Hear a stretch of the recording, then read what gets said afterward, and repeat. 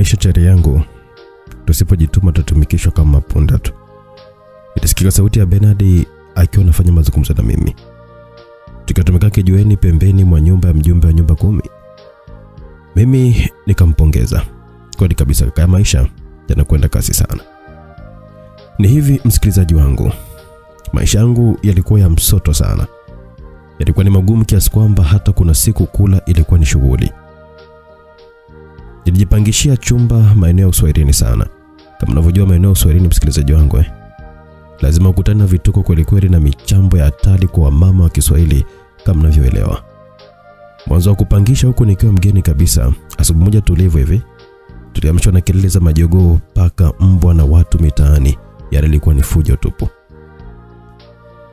Mwisho nikaamua kuamka tu. Usingizi ulipotea huku sura kikiwa ikiwa imetuna kwa kama mlima Kilimanjaro. Abenusi Aben nikatoka chumbani kwangu na bukta ambayo ilikuwa imepita magoti. Ilikwenda msarani kujisaidia huku haja ndogo ikiwa imenibana kweli kweli. Kufika katika mlango wa msarani nikaa nimekuta mlango umefungwa kwa ndani, nikajua tu kwamba kuna mtu. Nilisubiri kwa uvumilivu na mwisho nikaona sasa hadi pezidi. Nikaamua kukojoa pembeni ya mlango. Ghafla nikawa nimesikia sauti mdada mmoja hivi ikisema kwa hamaki, "Eh eh eh, wewe kijana, vipi una akili kweli?" Nilimgeukia nikiwa nimeshamaliza nikamwambia, "Samani dada, nilikuwa nimebanwa sana." Mdada akaendelea na maneno, "Hata kama mmebanwa ndio ufanyaje yako hapo?" Mimi nikamwambia kwa kumwomba radhi, "Basi nisamehe tu dadangu." Baada ya kumwambia hivyo akatoka mama mmoja hivi msalani kama amejifunga kanga iliyomtoa msambwanda hatari. Huku akiuliza, "Eh, kuna nini mbona fujo?" Ibrahim kisemacho akaongea kwa sauti. Si huyo kaka anafanya haja yake hapo pembeni mwa mlango? Mama alitamka kwa utaratibu na kunionya. Sio makosa yake. Ila kijana usifanye hivyo tena.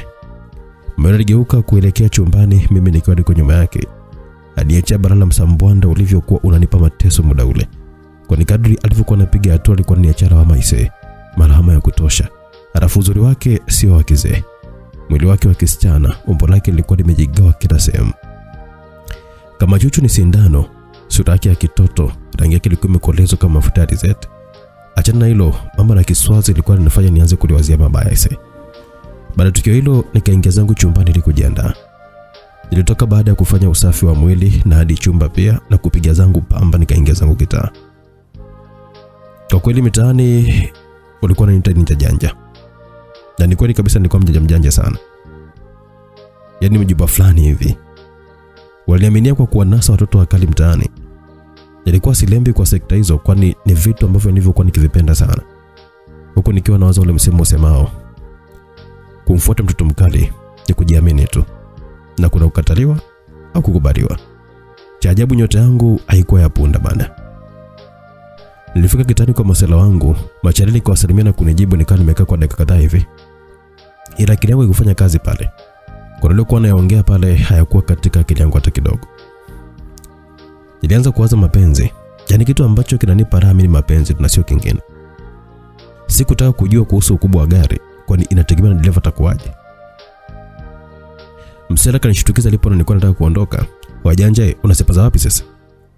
Nikamjibu, ah, kuna harakati nafuatilia sasa hivi hapa ise.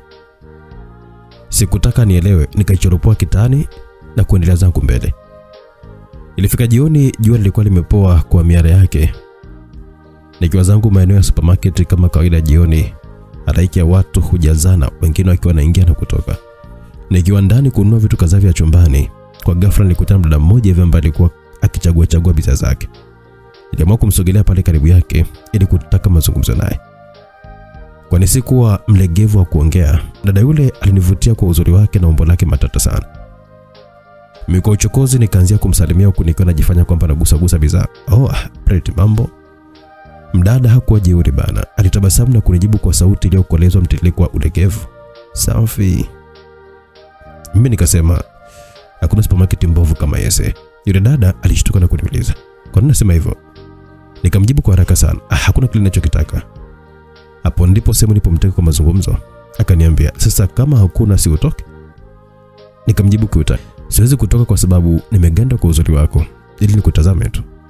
Mdada aliguna kisha akaniambia, mm, uzuri utoke wapi bwana?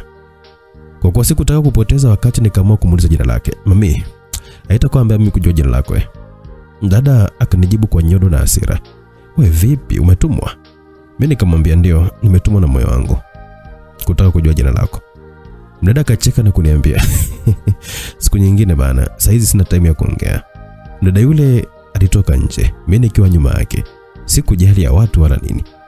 Nilimfuata hadi pale anaingia kwenye gari yake. Cha ajabu akanifungia mpaka vioo vya gari na kuchomoka zake.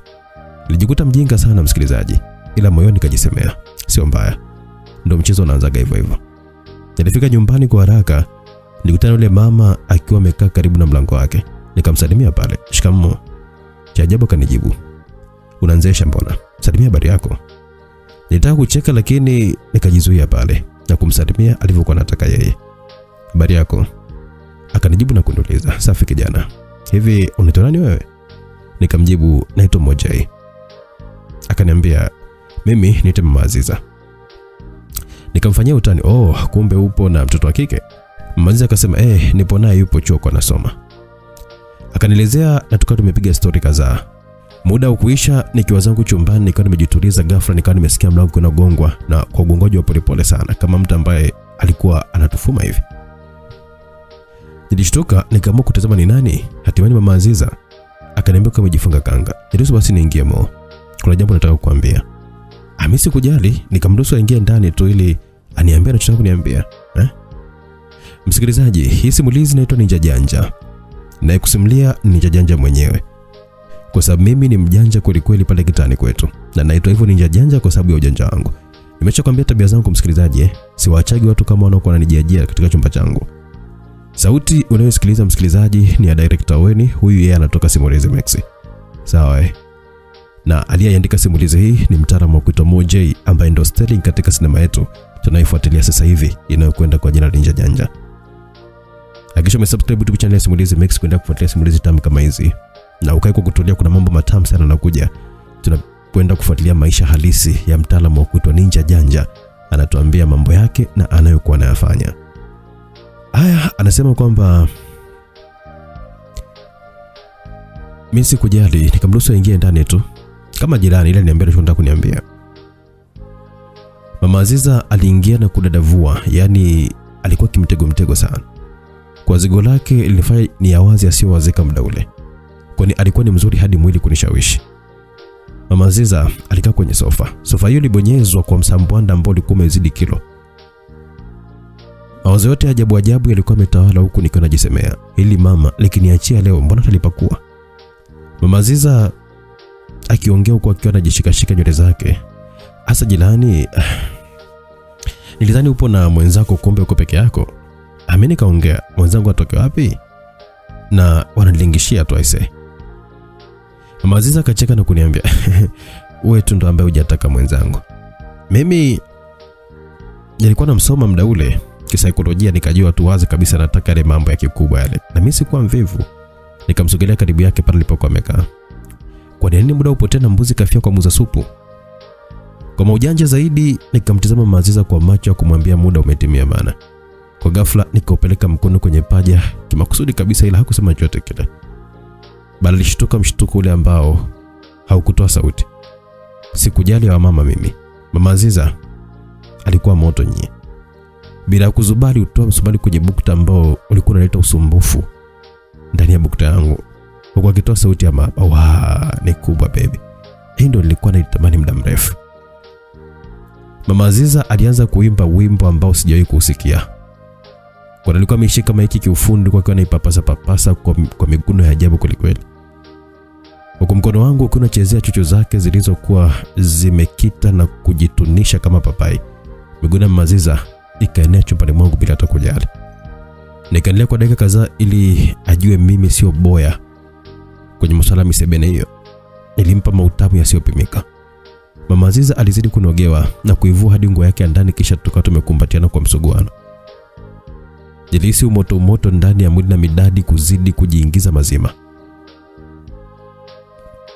Mwana Mama Aziza alikuwa mwenye kunionyesha maujuzi na maufundi ya kitandani. Mama Aziza alinipa denda la ghafla mdomoni, huku midomo ikipishana kwa utamu uliokolezwa na mshiko wa kiamani.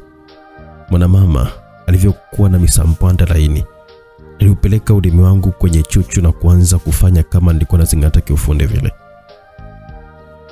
Mama Aziza midadi ilimpanda kwa nikumbatia kwa nguvu na kutoa maneno ya mahaba ambayo yalifanya niongeze kazi ya kumtalii.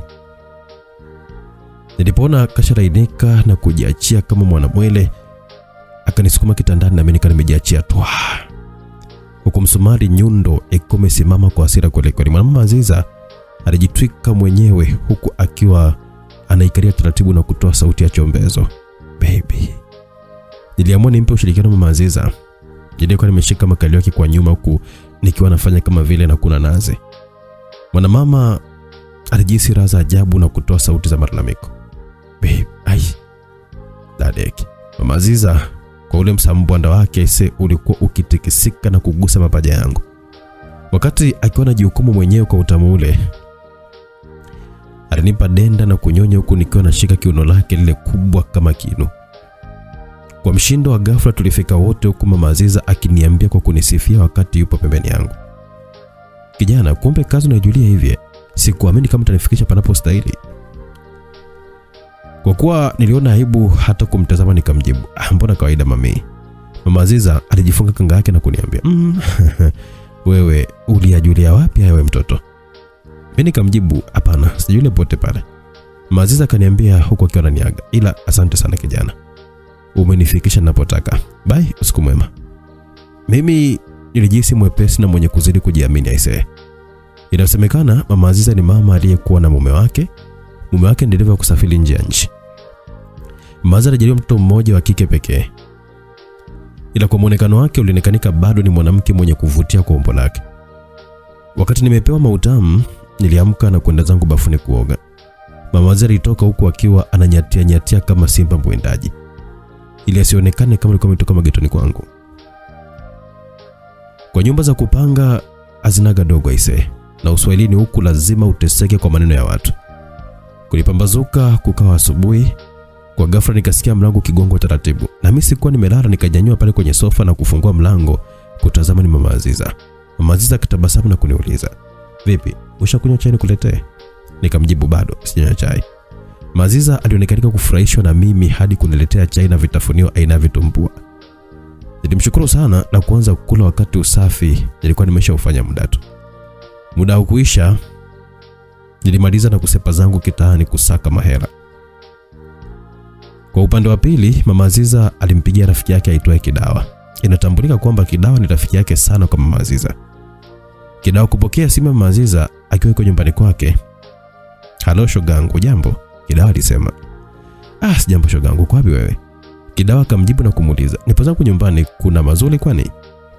Maziza kaongea kwa madaha, aisenjo bwana, kuna mazuri hapa. Ni wewe tu yani. Kidawa akasema, basi nakuja sasa hivi aise shogangu, nipe dakika mbili tu. Maongezi yaliishia hapo. Mimi huko kitaani nikiwa napiga zangu kazi tu hapa na pale. Kidawa alifika kwa Maziza na gari lake. Inakuwa hivi, Kidawa anaishi peke yake huku mume wake akiwa yuko Ujerumani akifanya kazi na kumtumia pesa Kidawa za matumizi. Wanajaliwa kipato cha kipimwe. Mama Aziza akamkaribisha Kidawa. Eh, karibu shogangu nikupe yaliyo kifuani mwangu. Kidawa akamuuliza huko akiwa anakaa. Yapi tena shogangu jamani? Mama Aziza akasema mwenzio jana raha juu ya raha, utamu juu ya utamu hadi kufika ninapotaka. Kidawa alikaa kwa umakini kumsikiliza Mama Aziza jinsi anavyosimulia. Ehe, ikawaje tena? Yaani jana si nikapambana na kijana mmoja hivi humu ndani katika sita kwa sita. Anapindua huyo kijana, anahakikisha kwamba umekwenda raundi tatu za pamoja. Kidawa alishawishika na kutamani naye afanyiwe mchakato kama huo Aziza. Wanawake wana uwezo wa kushawishiana kwa kitu kimoja na kukubaliana kwa hali yoyote ile. Kidawa akatamka, jamani shogangu, hata mimi nataka basi nimpate huyo kijana nipe alichokupa wewe. Maziza akasema hata usijali shogangu. Yaani ukimtaka vizuri mpe dila nyumbani kwako tu. Utampata kuliko umu. Kweli shogangu, nitampa kazi ya kusafisha kisha tumalizane. Siwajua sisi kwa ushawishi nambari moja. eh. Lazima anisuke tu mtoto wa watu. Kwa upande wa pili, baada ya mishemishe zangu nikiwa na marafiki zangu kitaani, muda wa saa nane mchana hivi, njaa ikawa imetubana pale, tukawa tumeamua kuingia kwa mantilia hivi ili tuweze kuziba palipokuwa pametoboka. Mimi nikaanza kuropokwa bila hata kutafakari, huku tulikuwa tunaingia kwa mantilia pamoja na marafiki zangu. Mimi nikasema Zuberi, aisee, mama mkubwa waga watamu sana mwanangu. Zuberi kacheka na kuniambia acha zako wewe, vidada ndo vitamu, ujui tu, anakwambia. Alex akadakia, hajui atakufa mapema tu mziki huyo. Oho, mimi nikasema ah, maneno yenu tu hayo bana, napenda nipewe ninachokuwa nakitaka bana, msinipimie hewa eh. Kwa ghafla akawa amekuja mantilie kutukaribisha. Ehe, vijana karibuni. Asante sana mama ntilie. Mimi nikawa nimejibu hivyo. Mantilie akasema semeni wahudumie nini? Nikaanza kucheka kwanza kwa maneno swali, nikawaza jana nilikuwa nimetenda na yule mama Aziza. Mama, leta ugali na kachori tu. Mimi nikasema hivyo. Wenzangu wakaitisha hicho pia. Muda kupita tukawa tumeletewa na kuanza kufakamia chakula. Kidawa alionekanika kutaka kunijua na kuninasa katika ulingo wa maaba. Baada ya kuongea waliagana muda huo na kila mmoja kama amefuata shughuli zake. Baada ya kumaliza kula nikawa nimelipia hela na tukawa tumesepa zetu. Iliingia saa kumi na mbili giza likiwa linaingia. Kwa kweli sikuwa na uoga wa kuweza kumfuata mdada yoyote ule, hata kama alikuwa amenizidi umri, mradi tu kwamba nilale kifuani mwake.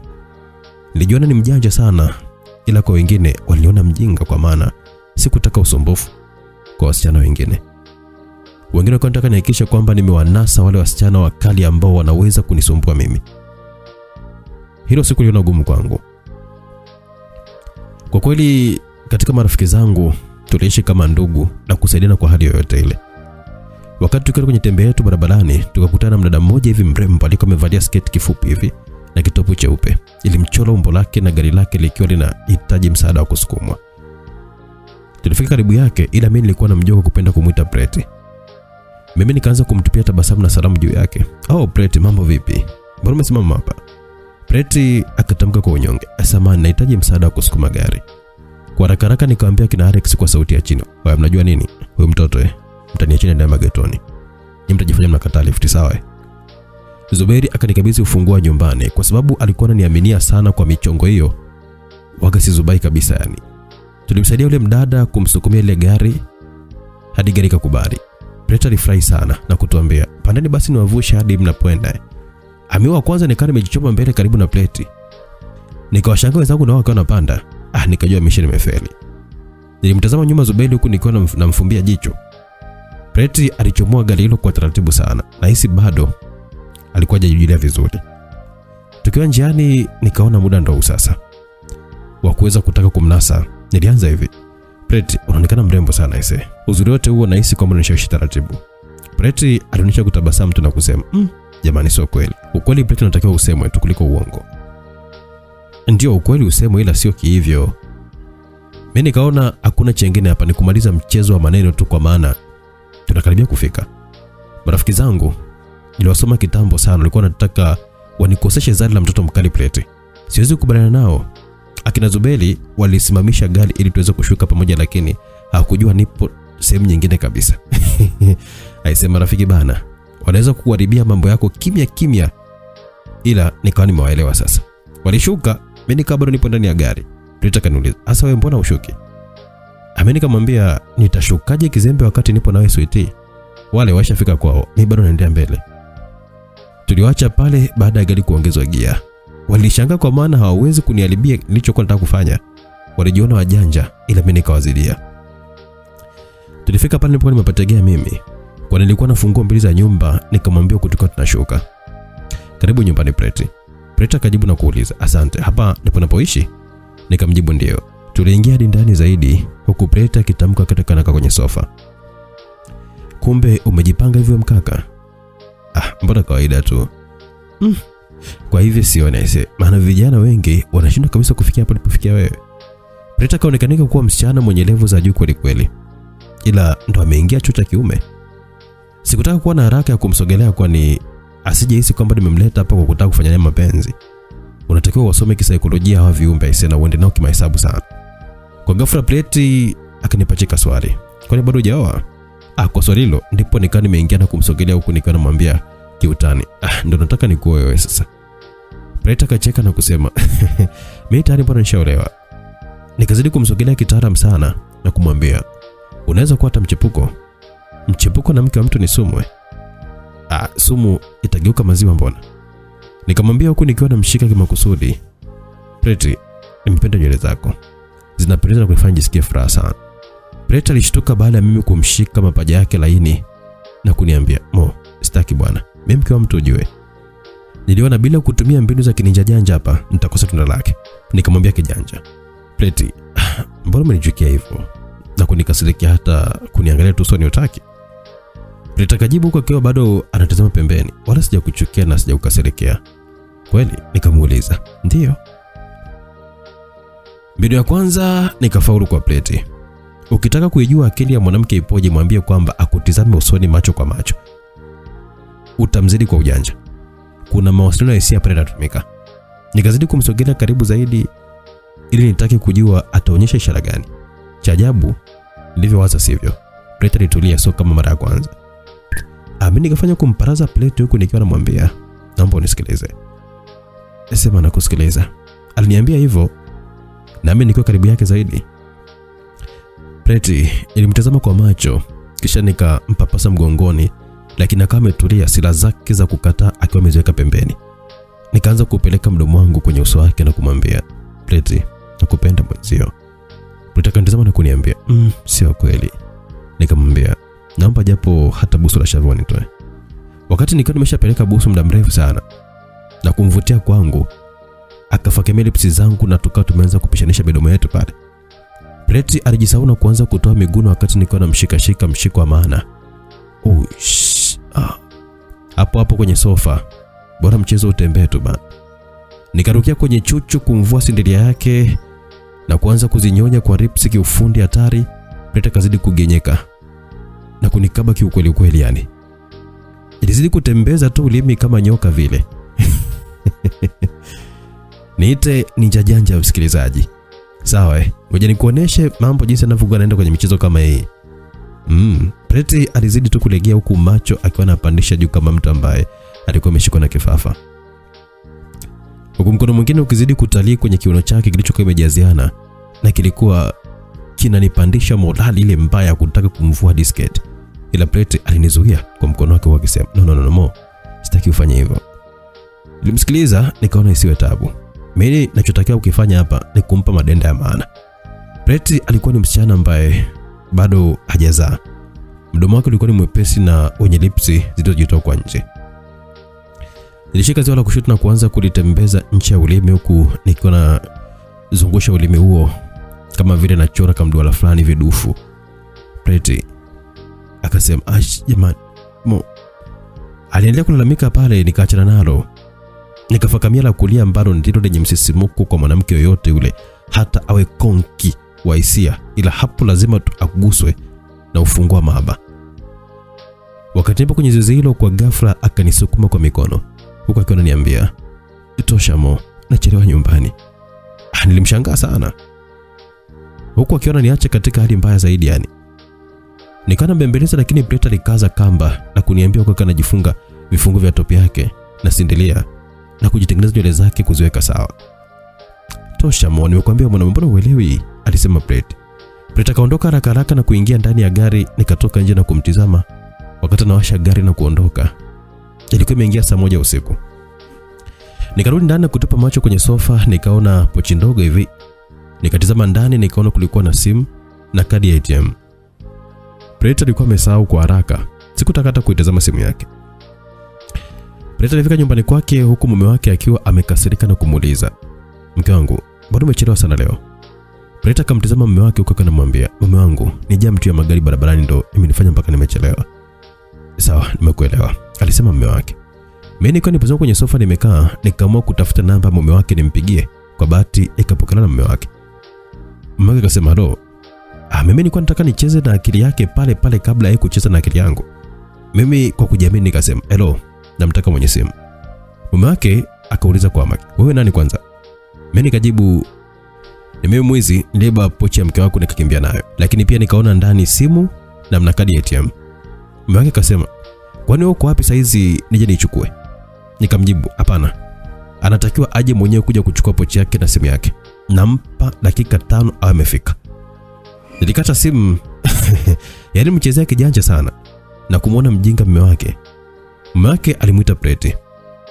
Mke wangu, kumbe umeporwa simu na kibaka? Preti kwa haraka haraka kajibu, ndio mume wangu, lakini nimeogopa kukuambia, naomba unisamehe sana. Amenipigia simu kwa simu yako, anakupa dakika tano uwe umeenda kuichukua simu mke wangu. Preti alikuja bila kuchelewa. Alifika na kunikuta nimejituliza tu kwenye sofa. Yaani wewe mwanaume umenishinda tabia. Kweli wewe genius. Yaani umetumia maneno ambayo sikuyatarajia kabisa eti. Nikamwambia huku nilikuwa namsogelea hadi karibu yake. Preti, wewe ni msichana mzuri sana. Nikikuona tu nahisi mwili kunisisimka. Wewe moja jamani, umeonga wangu amenipa dakika kumi. Nataka tena unipe utamu. Aisa bila kuzubani kani nimemshika kiuno chake nikiwa nyuma yake na kuanza kumramba shingoni kwa kumnyonya kwa ribs. Alianza kupiga makelele pale. Nikiendelea na mwendo haraka haraka kwani anaweza kupigiwa simu muda wote ule. Ilimbinya binya misampanda yake, Brett akanigeukia na kuniangalia sawia. Akanipa denda kisha akawa shati yangu na kuanza kuninyonya kifuani mwangu. Jamani jamani. Tulikatizwa na mlio wa simu. Nikaipokea mimi. Hello, mbona hajafika? Au nikimbia nazo? Mimi nikaa nimeongea. Subiri anakuja, akasema mume wake. Nikakata simu. Ila akili yangu kaniambia kwamba sio wakati salama. Nilimsoma maneno yake na sauti kwa mbali honi za magari zilikuwa zinasikika. Hapo hapo hamu yote ya kufanya mapenzi kapotea. Nikahisi dalili sio nzuri. Baby, una tatizo gani? Preta kama ameniuliza. Nikamjibu, mume wako anakuja na polisi. Preta kashangaa, maana nilikuwa nimemwambia polisi? Ndio, anakuja pamoja na polisi. Naomba uondoke mara moja. Mm, baby mo, unanifukuza? Ndio, naomba uondoke uwe salama kwangu na kwako. Preta kachukua pochi yake na simu yake akaondoka maeneo hayo. Ni hivi, mume wake alikuwa ni polisi, kisha mbaya zaidi alikuwa ameitaka simu ya Preti. Usiku ule ule nikaondoka kwenye ile nyumba na kwenda kumkabidhi mwenye funguo. Nikafika nyumbani kwangu nikiwa nimechoka kweli kweli. Nikaona na mama Aziza. Yaani mama Aziza akiniona mimi ni kama alikuwa ameona chakula chake anachokipenda. Mama Aziza akiwa amejilaza pale uani. Mao mambo? Safi mama Aziza. Mama Aziza akazidi kuniongelesha. Leo sijakuona kipenzi tokea tuachane asubuhi. Ah, si wajua mami kwamba meshemisha kibao za hapa na pale. Ndio jambo la muhimu sana jirani. Halafu nipo na ujumbe wako hapa. Ameni kaamua kumsogelea pale pale kumuuliza ujumbe nani tena? Ujumbe huo ni upi? Isije kuwa ni polisi. Maziza akacheka na kuniambia, "Hapana bwana, kwani naogopa polisi?" Asiwaogopi ila naogopa pingu na risasi tu yani. Maziza akazidi kuongea. ni hivi, uh, kuna kazi ambayo imetokea utaifanya? Kazi gani tutashinda ujanja wote huu? Hata kupangusa watu vinyesi mimi nafanya tu, ili mradi kwamba utanipa changu.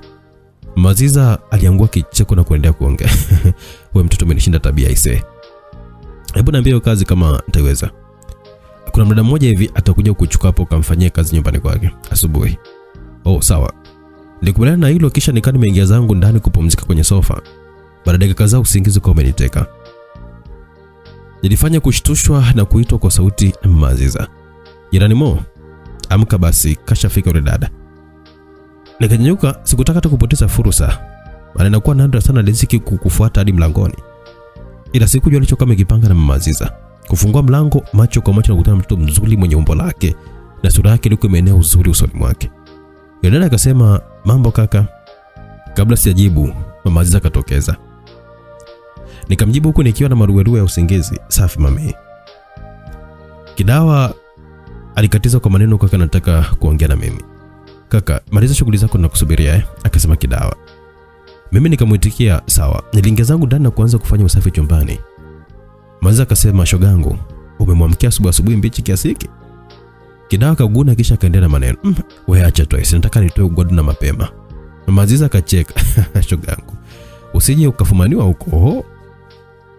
Kidawa kiutani akasema, ah, tukifumaniwa atanioa tu yeye. Ili nikueleze vizuri.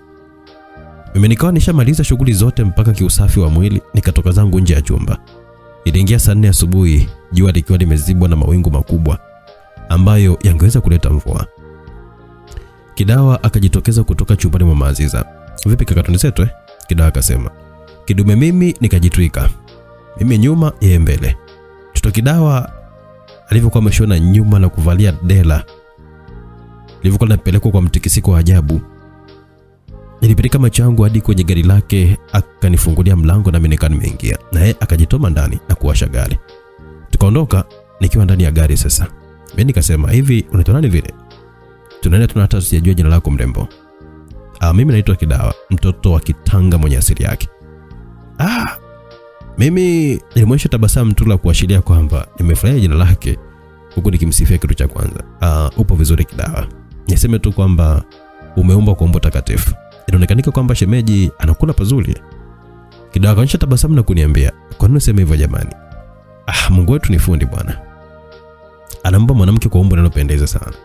Kwa wewe nikikuona hivi tu nahisi kwamba umetumwa kwangu kuja kunihudumia maradhi ya moyo. Jamani wewe Mo, una vituko. ah, Kidawa, uongo upingwe ila ukweli acha usemwe tu. Kwa maneno nilikuwa nikimpangia mtoto Kidawa ili asiboeke, nataka awe na furaha muda wote. Mwanamke hatakiwi kuwa na mwanaume domozege. Mpe maneno hata kama ni ya uongo na ukweli, achangamke bana. Kidawa akasimamisha gari kwenye mjengo mkali hatari uliokuwa umewekwa ulingo wa ukuta. Kidawa akapiga honi ya gari ili afunguliwe geti. Mlinzi geti kama amefungua bila kuchelewa, Kidawa akaingiza gari ndani, huku nikiwa nang'arisha macho kama komba. Mjengo wote wanaishi peke yake tu. Nikajisema kimoyomoyo baada ya Kidao kupaki gari lile pembeni, tukawa tumeshuka wote. Kidao akasema tunaweza ndani kaka. Ah, mimi nikiwa bado nazubazuba tu na mandhari ilivyokuwa safi, maua yalikuwa na rangi nzuri hadi swimming pool ndani. Da, I say, kweli watu wana vyao bana. Nilimfuata mwanamama yule hadi sebuleni, kisha nikawa nimekaa kwenye sofa kupumzika. Kidawa ni mtoto aliyeumbika katika umbo nye ilikuwa nimechanganya akili yangu ile mbaya, kwani alikuwa amejaa hipsi na kiuno chake kilicho kimefinyika kwa ndani vimithili mithili ya nyigu. Mbali na hilo, sura yake nyembamba, mdomo ulikuwa umeumbika katika matamshi, jinsi ambavyo anavyokuwa anayatoa maneno yake aisee, ilikuwa ni sawa na kinanda. Ani mawazo yaliyokuwa ameniteka na kushtushwa na usemi wa Kidawa. Mo, unawaza nini? aliuliza Kidawa. Mimi katika mawazo nikamshangaa Kidawa alivyokuwa ametoka na taulo akajifunga maungo yake yalikuwa yananitoa udenda na nywele zake kaziachia. Nilishindwa hata kuongea. Mwisho nikamwambia, hapana, siwazi kitu. Kidawa akanitazama kwa macho yake yaliyokuwa kama ya kichina hivi, kisha aliniita kwa sauti ya mlegezo, Mo, njoo basi nikuonyeshe kazi? Ah, nilinyooka upesi bana na kumfuata Kidawa na akaniambia huku akiwa ananishika bega na kunipa maelekezo ndani ya chumba. Hiki kitanda nataka ukitandike vizuri, kisha ukimaliza ufagie kidogo eh. Nikamwitikia sawa. Kidawa kama ametoka na kuniacha nifanye yangu. Kidawa aliingia bafuni kuoga huku akiniwazia sijui atanipataje na kunianzaje. Alinitamani kimapenzi. Baada ya kuoga alikuja kwa kunyatia nyatia kama jambazi hivi anemnyatia mamluki.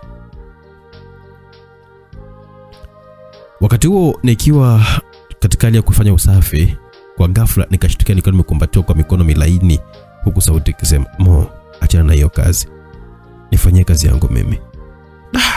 Hapo nimgeukea Kidawa na kumtizama macho yake, yalikuwa naashiria kwamba nifanye chote kile. Mtoto alikuwa amejawa na pozi la kivyake yani. Niliwacheza wanawake baadhi yao, lakini kwa Kidawa kulinipa msisimko mkubwa sana. Kidawa akatamka, Mo, nasikia genye mwenzio. Mm. Mashetani ya maaba akanizidia, nikaamua kumtoa lile taulo lake huku chuchu zake zikiwa nje ndani ya saa sita, kama tunavyosemaga saa sita. Sikuwa na haraka nayo, nikaanza kuyafanya kama nilikuwa nayagusisha na ncha za ulimi hivi. Nikaanza kulishughulikia moja baada ya jingine kwa ufanisi mkubwa na ufundi, huku nikiwa nakumbuka kile mwanamke na uwezo wa kuweza kumpagawisha. Kidawa aliachia miguno ya ghafla na akanishika kichwa changu kukipapasa, ambayo ilinifanya mimi nizidishe uninja. Ush. Nikaenda naye sawia hadi kumlaza chali kitandani. Mtoto alikuwa na mapaja manene yenye utazani ameongezewa nyama bucha. Niliendelea kumpagawisha Kidawa huku akizidi kukipandisha juu kifua chake kuashiria nizidi kumnyonya kiamani. Alitoa miguno pale ya kimahaba kweli kweli. Kidawa alikuwa anajua kulalamika nyie, ndipo kama nifanye niongeze kasi ya mashambulizi. Nilitaka ajue kwamba mimi ndiye mtaalamu wa maaba Kidawa alionekanika kulewa na raha nilizokuwa nampa, kwani mikono yake alikuwa ameshika shuka na kufanya kama analikusanya hivi. Nami nikashuka chini kitovuni. Nilitulia hapo kama dakika mbili hivi, huku nikiwa nachezesha ulimi wangu taratibu sana, huku Kidawa akizidi kulalamika, jamani, mbona nitekenye ah. Sauti ya mahaba ilipaa chumbani, huku Kidawa akiwa anajizuia kwa kicheko muda huo nilijikuta zaidi nikiwa nashawishika nyie hadi kushuka chumvini ambako sikutarajia hata kwenda. Nikautoa ulimi na kuanza kuzungusha katika mduara wa kisima. Sikuona kinyaa pale, kwani muda wa kuweza kumpa mautamu kidawa ndo ulikuwa ule. Nikaendelea ndani ya dakika kumi hivi, kidawa ilionekanika kujigeuza geuza tu kama mtoto alikuwa amepatwa na degedege. Nikasikia sauti ya kidao ikisema, "Mo, niingize mwenzio." Ops. Muda haukuisha, nikaa nimevua suruali yangu kisha bukta huku mkongo ukiwa umevimba ile mbaya, nikaamua kumvalia mpira, kwani usiamini kila mtu bana. Nikampa denda mdomoni, huku mwamba nikipenyeza taratibu ndani ya kisima. Kidawa alishtuka kwa miguno. Au! Kidawa akanionyesha kukatikia kwa ndani, kushoto na kulia. Dade, kitoto la kitanga ilo hatari kwelikweli. Alinichetulia kiasi cha kwamba wazungu walikuwa wanataka kutoweka. Wakati kwa tunasogezana kwa mahaba, kwa ghafla tukashtushwa na honi ya gari nje. Kidawa akanisukuma kwa kitamka, mume wangu huyo. Mimi kwa mshangao nikasema, mume wako? Kidawa akasema ndio, mume wangu ameingia. Kidume mimi niliishiwa na pozi huku mitetemo ikiwa inaniingia. Nikavalia nguo zangu haraka haraka sasa ili kuweza kupanga mahesabu ya akili. Kidawa akaniacha chumbani mle. Nilimshangaa sana niachije wakati mume wake ndo kaingia. Kitu cha kwanza kufanya ni kuweka kitanda sawa na kuondoka chumbani humo. Wakati Kidawa akiwa anampokea mume wake. Kidawa kama mshikashika kidevu mume wake na kumkaribisha, karibu tena mume wangu. Mume wake akamjibu, asante sana mke wangu. Waliingia ndani kunikuta mimi nikiwa ndo naunda taa huku nikiwa nimevalia gwanda la kazi ambalo halikuwa la kwangu, nilikuwa nilipata sehemu. Mume wake alishangaa na kuanza kumuuliza mke wake Kidawa. Mume wake akasema, mke wangu, kwani kumeharibika nini? Kidawa alinitazama kwa kana nikonyeza kwa jicho la kushoto bila mume wake kutambua. Kidawa akamuulizia mume wake, mume wangu, niliona kwamba kunaleta hatari ya umeme hapa, nikaamua kumtafuta fundi aje atengeneze. Mume wake alikuwa ni mkali kama simba, ila alikutana mtu aliyekuwa anamtuliza kama kali yake, huku akiongea kwa kunisemea mabaya. Fundi gani wa mtaani tu, hajui hata anachokifanya. Niliamua kuchukua ngazi ambayo nilikuwa nimeipanda, kisha nikalivua gwanda lile na kumwambia Kidawa kwa maneno ya ujanja tu, shemeji, niwekee ile gwanda langu na kuja kesho, kwa maana nyumba nzima ina hatari ya shoti, kwa hiyo muda wote inaweza hata kuleta hatari. Mimi ndo naondoka hivyo. Kidawa akaniita mbele ya mume wake, fundi, samani mwicho tafadhali. Kidawa alitoa pesa kwenye pochi yake kiasi cha shilingi elfu na kunipatia. Shika hizi, utakunywa soda. Mimi nilifurahi sana na kumshukuru, asante sana dada. Kijana mimi nikasepa huku mzigo nikiwa nimesha unasa na pesa pia nikiwa nimeshazipata. Sikutaka hata kumrudia tena Kidawa. Yaani kila nitakayempata yupo na mume wake aisee. Sikutaka tunije nije nifie tu kwenye muhadhara wa watu. Na bado kijana nataka kuishi. Ikiwa ndani ya saa sita jua likiwa ni kali, likiwa lipo katikati, likiwa limeanza kutoa miala yake mikali ya taratibu, iliamua kwenda zangu maskani kwa kina Zubeli. Nikaita kwa sauti kubwa ili asikie. Waya Zubei. Zuberi alitoka ndani huku Alex akiwa kwa nyuma yake. Nilianza kutabasamu kwani hawa ndio marafiki zangu wa karibu sana. Ilikuwa kimkosa Zube basi mimi nipo. Zuberi akasema, "Inakuwaje mwamba?" Ah, mimi nikiwa nimekaa kwenye kiambaza hivi nikamjibu, "Safi bladi." Alex akadakia kuniambia, "Nipo na mchongo wa mtoto mkali ile mbaya. Vijana wanashindwa mtaani aise." Afu kibaya zaidi kama mtoto ni wakishua balaa. Mimi kusikia ugonjwa wangu wa watoto wakali wagasi Zubaya. Nikamuuliza kwa haraka haraka, "Anaishi wapi?" Anaishi Maseto mtaa wa namba 23 kule. Anaitwa nani? Anaitwa Zainabu. Yupo jebu nipe sifa zake. Alex akacheka na kuendelea. Janja huyo mtoto noma sana ise. Uzuri wake tu, yani ukiuona lazima umeze mate tu. Umbo lake lilivyoumbwa ise. Ni la kipekee nakwambia. Nywele zake zinafikia mgongoni. Kwa hiyo ni wakishua balaa. Mimi nikadakia, sasa huyo nitamweza kweli? Na niwakishua nitampataje kwanza? Sina mudi ya kuongea nao watoto mikabisa yani. Alex kiutani akaongea, na kuaminia wewe tu janja ndo unaweza kumnasa yule mtoto. Yaani nataka umchukue yule, na ndio maana mimi nimekuambia wewe. amesi kutaka aendelee, kwani akili ilishaanza kupiga mahesabu zaidi ya pale. Kwani mazoea ya wasichana nilishazoea, nikagundua tu kwamba kuna kisichowezekana. Nikajiamini na kujikubali mia kwa mia, nikaamua kumwambia Alex, Alex, twenzetu ukanipeleke kwao. Alex akashtuka na kuniambia, kwao kufanyaje? nataka nikamtongoze. Alex akacheka na kuniambia mama, huyo mtoto utomweza wewe. Mbaya zaidi ni hatoki kwa ovyo.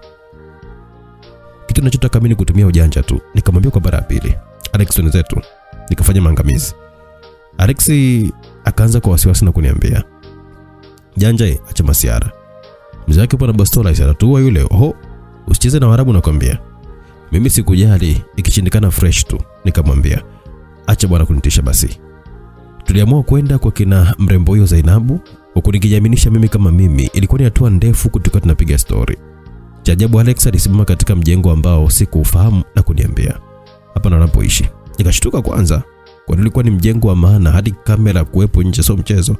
Geti kubwa jeusi lenye nyaya za umeme. Nikamuuliza Alex swali, swali kadhaa. Huyo Zainabu anasomea wapi au anafanya kazi gani? Alex akajibu, anasomea chuo ninachosoma mimi bro. Yaani ananata ile mbaya. Na huyu mtoto nikimpata utanilipa? Achana na kukulipa, nitakupa bonge la zawadi. Sawa. Ni hivi. Kidume mimi nikagonga geti la kina Zainabu. Aliyetoka ni mlinzi mmoja hivi mzee wa marika. Huku akitamka. Sema shida yako kijana?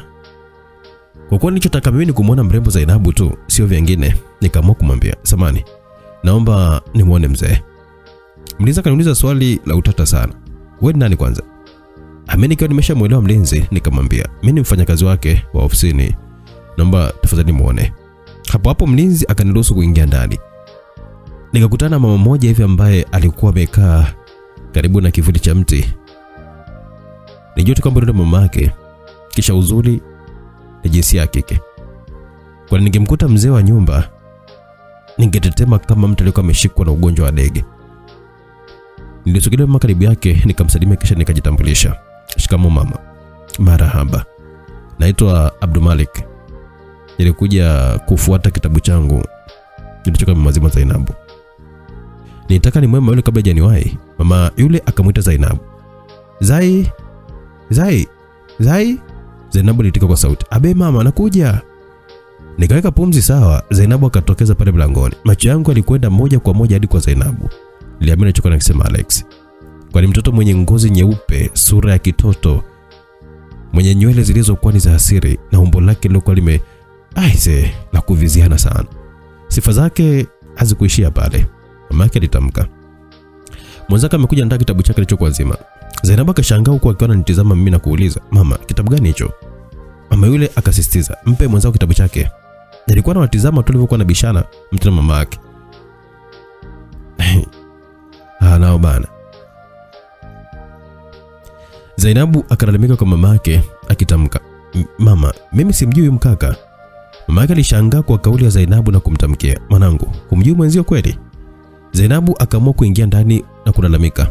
Kwangu mimi nikawa nimeshamfahamu vyema kabisa. Nilichoamua ni kumwaga tu yule mama. Mama, samani kwa kukusumbua, naomba tu ni uniache niende. E, Sawa mwanangu, karibu eh, aliniambia yule mama. Wakati naondoka, naye baba yake akawa anaingia na gari la matoi ya juu sana, gari la pesa ndefu. Wakati nikiwa nishafanya yangu muda huo, nilikuwa natoka nje ya geti kumtazama Alex rafiki yangu sikumwona. Nikaamua kurudi zangu tu nyumbani kujipumzisha. Zilipita siku mbili nikiwa nipo kitaa baada ya kutoka kibaruani. Nikutana na rafiki Alex na Zuberi. Baada ya kusalimiana, Alex akasema, "Vipi kwa Zainabu?" Mimi nikamjibu kiutani tu, "Zainabu, nishamchukua yule mtoto." Alex alishangaa sana akawa haamini kwa akiwa anatamka. Acha masiara wewe. Yule mtoto huwezi kabisa kumchukua. Ameshindwa Kasimu itakuwa wewe. Mimi nikamjibu, Kasimu na mimi ni tofauti sana. Usilinganishe maziwa na tui wakati ladha ni tofauti. Kwa upande wa pili sasa, Kidawa alimfuata mama Aziza nyumbani wakakutana. Shogangu mambo? Kidawa akasema, safi tu shogangu. Leo umenikumbuka? Ah, so hivyo aise, mume wangu si karibu atufumanie na wiki- na jirani yako. Mama Aziza akashangaa sana. Eh? Ikawaje tena? Ah, si yule kijana alivyokuwa mjanja mjanja aise akajifanya fundi wa umeme. Umeona uzuri wake? Yaani yule kijana na akili ndefu sana yani. Ah, kijana machachari yule du. Simwezi kabisa. Sijui kapotea wapi siku hizi simuoni, Mama Aziza akasema. Ushammisi eh? Waliongea mengi sana muda huo. Zilipita siku mbili nikaanza mazoea ya mtaa kina Zainabu. Huku nikijenga urafiki na vijana wa mtaa ule na kuonesha uchangamfu wangu. Nilikutana na wasichana wengi tofauti tofauti maeneo yale. Ila sikuona zaidi ya Zainabu anaweza kumpiku. Nilimfuatilia Zainabu kimya kimya bila kujua. Nilikuwa nataka nimwanzie atakapotokea hadi nyumbani kwao, ila muda mwingine huchukuliwa na gari la babake. Wakati nikiwa na Zubeli kwenye mwembe mmoja hivi, tukiwa tumenunua vitafunio, kwa ghafla nikakutana na Zainabu akiwa ameshikilia vitabu vyake akiwa amevikumbatia kama mtoto. Sikuamini kabisa, kwa nilikuwa nimepigwa na mshtuko wa ghafla moyoni mwangu, kumishipa ya damu ikiwa inanienda kwa kasi sana. Nilikuwa nikimtumbulia macho kwa makini sana, na ule mwendo wake sasa wa kunyatia nyatia kama shibili aliyekuwa ameanza kutembea. Vazi lake alilokuwa amelivalia baibui lililokuwa limemshika vyema makalio yake nyie. Muda huo nikiwa mmoja wa hao vijana ambao walikuwa wakimtizama Zainabu kwa jinsi mtoto alivyokuwa anatamba na kuenea uzuri ulivyokuwa umemkolea. We, vijana walikuwa wakimwogopa sana Zainabu mtaani, kwani alikuwa ni mkimya ambaye hakuwa na mazoea sana na vijana wa kiume. Moyo wangu nimfuate, kwani msichana yote yule hakuweza kunishindwa, ameumbwa kwa ajili yetu hawa. Nilichomoka kimya kimya bila Zuberi kujua.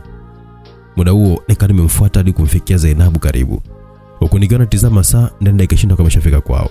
Kwa mshtuko wa mrembo, Zainabu alishtuka kuona nipo pembeni yake, alizidi kujibana kidume, mimi nikaa nimemfuatia huko huko. Zainabu aliona usumbufu kwangu na kutamka. Nikaamini Zainabu alikuwa hana mazoea na wanaume. Zainabu aliuliza swali huko kinaonyesha kuchukiza sana. weka kaka vipi? Amini kamwambia kunikuwa nashika shati langu. Hasa mbona nikimbia au nanuka Zainabu? Nilimwambia neno hilo kimakusudi kabisa kumbomoa makucha yake ya hasira. Lakini Zainabu alibakia kimya. Nikamwambia tena neno lile lile. Mwisho akasimama huku uso wake akiwa ananitazama mimi. Huku bado akili yangu inaunda vizuri uzuri wake. Zainabu akaniambia, "Mimi sikufahamu wewe kaka." Mimi nikamwambia, "Unanidanganya Zainabu." Ah, huyu janja ninja chenga sana yani. Huyu ndo janja ninja, mwite ninja janja. Kama mwelewa msikilizaji mpaka hapa, fanya kitu kimoja. Nataka nijue kama uko na mimi mpaka hapo, naenda kumfuatilia ninja janja mambo yake. Kwenye komenti yako hapo chini andika ninja janja. Sawa, eh, ninja janja. Tajua kwamba wewe ulikuwa nami toka mwanzo mpaka tumefika hapa tuko pamoja na kuonesha kwamba namkubali mshikaji. Maana yeye anakuambia kwamba hakuna mkate mgumu mbele ya chai. Wewe kama mnamshindwa nyewe mpeni yeye. Ataingia tu kwa namna yote ile. Kanichekesha hapa kwamba unanidanganya Zainabu eti kwamba anasema hamjui kweli. Zainabu akaongea, kweli mimi sikufahamu kabisa mkaka. Wakati tumesimama vijana walikalangu lika langu wakiwa wananishangaa tu.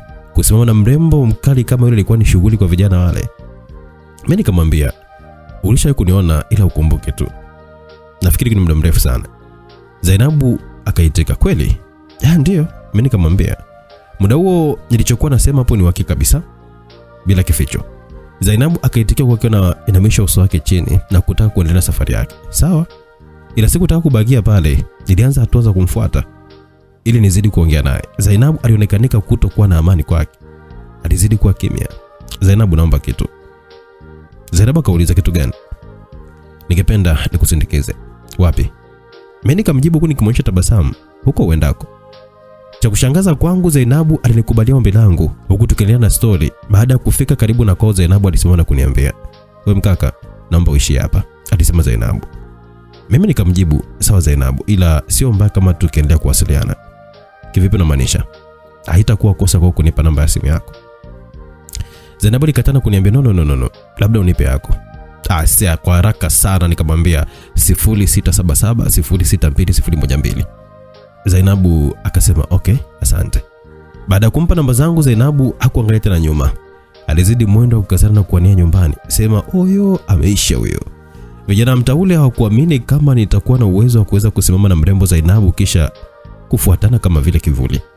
Kimoyoni ikajisifia bwana, taratibu ya sema mwana pole ndo mla nyama. Mimi ndiye ninja janja bwana. Kwa kila siku akilini mwangu nilikuwa na mwazi Zainabu, sikuwa nikitulia. Ilipita wiki moja bila kuona simu ya Zainabu wala hata kubipu sikuona machoni kwangu. Kwa hakika nilijihisi vibaya sana ise. Nilibakia mnyonge huku mwili mzima ukiwa unaishiwa na nguvu. Kwani akili yangu yote ilikuwa inamwelekea mrembo Zainabu. Huku mawazo mengi yakiwa yananijia kichwani mwangu. Sijui kaifuta namba yangu au ni vipi. Ilikuwa ni maswali yalikuwa yamekosa majibu yake. Wakati nikiwa nimetulia zangu nyumbani hata huko maskani pia nikawaga siendi tena. Sijui ni aibu zile. Kwa ghafla mama Aziza aliingia chumbani kwangu na kunikuta nikiwa nimetulia zangu kwenye sofa. Akasogea karibu yangu na kuniuliza, "Baby boy, una tatizo gani?" "Hamna mami. Nimejipumzisha tu hapa." Mama Aziza hakuamini. Alinyanyuka na kwenda kufunga mlango wa ndani kisha akamevua dera lake na kubaki na nguo ya ndani tu. iliyokuwa imegawanya makario yake makubwa. Hapo hapo huzuni yote ikapotea hisia na mshedede ukasimama imara bila hata kufikiria. Mama Aziza akitamka kwa na papasa pasa mapajani mwangu. Baby boy, sipendi ukiwa una raha. Acha basi nikupe enjoy eh. Mama Aziza aliupeleka mkono wake hadi kwenye boksi yangu na kuutoa mkono wa tembo na kuanza kurambaramba kama pipi vile. Nikajikuta nikiwa natoa miguno kama mtoto. Aish. Mama Aziza alikuwa ni fundi nyie, tena fundi wa kupagawisha kiukweli ukweli eti. Huku akiwa analembulia macho yake kama kitoto. Alikuwa fundi wa kuchezea mtanange jamani, huku nikimpapasa mgongoni mwake kwa mahaba kweli kweli. Bila kuchelewa akaishusha nguo yake na kuniambia kaa vizuri nikalie. Kwa kuwa nataka utamu uongezeke, nilimshikilia na kukaa vizuri. Mama Aziza alinipandia kwa juu na kuanza kuingia mwenyewe taratibu shwap. Kitu mtelezo mama. Bwana we. Mama Aziza alitoa vilio vya taratibu na majirani wasija wakasikia. Nilichofanya ni kumnyonya chuchu zake tu kitaalam sana. Nilishika moja baada ya nyingine. Mama Aziza alionekanika kufurahia sana japo mzigo ulikuwa ni mkubwa ila sikujali. Niliupelekesha tu kijanja janjani. Mama Aziza akazidisha manjonjo ya kukatikia ndani kwa ndani taratibu huku nikiwa nampa sapoti ya kumzidishia sukari. Tulitembezeana mautamu hadi kufika mlima Kilimanjaro. Mama Aziza alijitoa baada ya kila mmoja kuridhika, huku akiniambia umelizika sababu yangu. Nikamjibu ndiyo, asante sana mami. Mama Aziza alivalia dela lake na kuniambia njoo nitizameni ni yupo hapo nje. Sikulaza damu, nikanyanyuka mpaka nje mlangoni. Sikuona mtu. Mama Aziza kama ametoka nje kwa haraka haraka, huku zigo likitemesha dela lake hatari. Nikajikuta mwepesi na mawazo yote kunipotea, ila kwa dakika kadhaa baada ya kufanya kitendo kiovu na Mama Aziza, mawazo ya Zainabu yaliniandama tena, huku moyo wangu ukiniambia achana na wamama bwana, tafuta msichana wa rika lako, utafaidi sana. Usiku uliwadia baada ya kutoka miangaikoni, nilikuwa nimekaa dakika kadhaa hivi, kisha nikawa nimeenda kujimwagia maji bafuni, wakati Mama Aziza akiwa na mume wake chumbani, kwani bila hivyo angelikuwa amekuja kunisumbua. Baada ya kuoga nikawa nimeingia chumbani na kujifutafuta na taulo kabla ya kukaa kutulia. Nikasikia mlio wa message ukiwa unaingia kwenye simu yangu kwa haraka haraka sana, nikawa nimetizama. Ilikuwa ni namba ngeni kwenye simu yangu ikiwa imeandikwa namba ngeni. Nikasema halo. Asikuwa na haraka kujibu, ila mawazo yakawa yameanza kunijia huku yakiwa natamka Zainabu, Zainabu. Baada ya kumaliza nikajibu hey, nani? Ilichukua dakika kumi hivi kujibiwa. Namba ngeni ikasema ni Zainabu, samani kwa kutokupigia simu. Kwa haraka haraka nikawa nimesoma akili yake, anaogopa kupiga simu kwa ajili ya wazazi wake. Nikamjibu, usijali, u mrembo, ndo maana unatakiwa kuchungwa sana. Zainabu akataipa, wamaanisha nini? Anamaanisha kwamba wewe ni mrembo kuliko wote. Mm, wanidanganya, akasema Zainabu. Kweli Zainabu, kitu ambacho kitanifurahisha ni kuona uzuri wako, tuna sio kingine. Zainabu akaonekanika mchangamfu na mimi, huku akituma meseji ya kusema asante sana ila samani, naweza kujua jina lako? Zainabu akameuliza. Ami nikafurahia kuona message ile ya kutaka kujua jina langu. Bila kuchelewa nika nimemjibu, kwa nini usiweze kunijua mimi? Mimi natambulika sana nje ya nchi. Zainabu akionyesha kuwa naamua kunijua jina langu. Okay, naomba basi nikujue.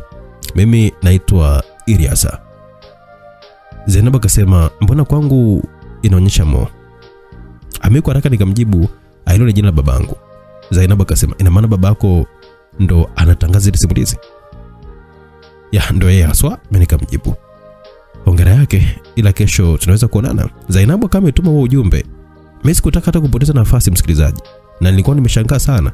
Siku chache tu anataka kuonana mimi. Hey, nikamjibu ndio, tunaweza kuonana. Sawa, kesho njoo hapa mgawani karibu na futi basikeli. Zainabu kama ametuma ujumbe huo. Muda gani? Njoo saa 4 asubuhi, nikimaanisha na na kutakia usiku mwema.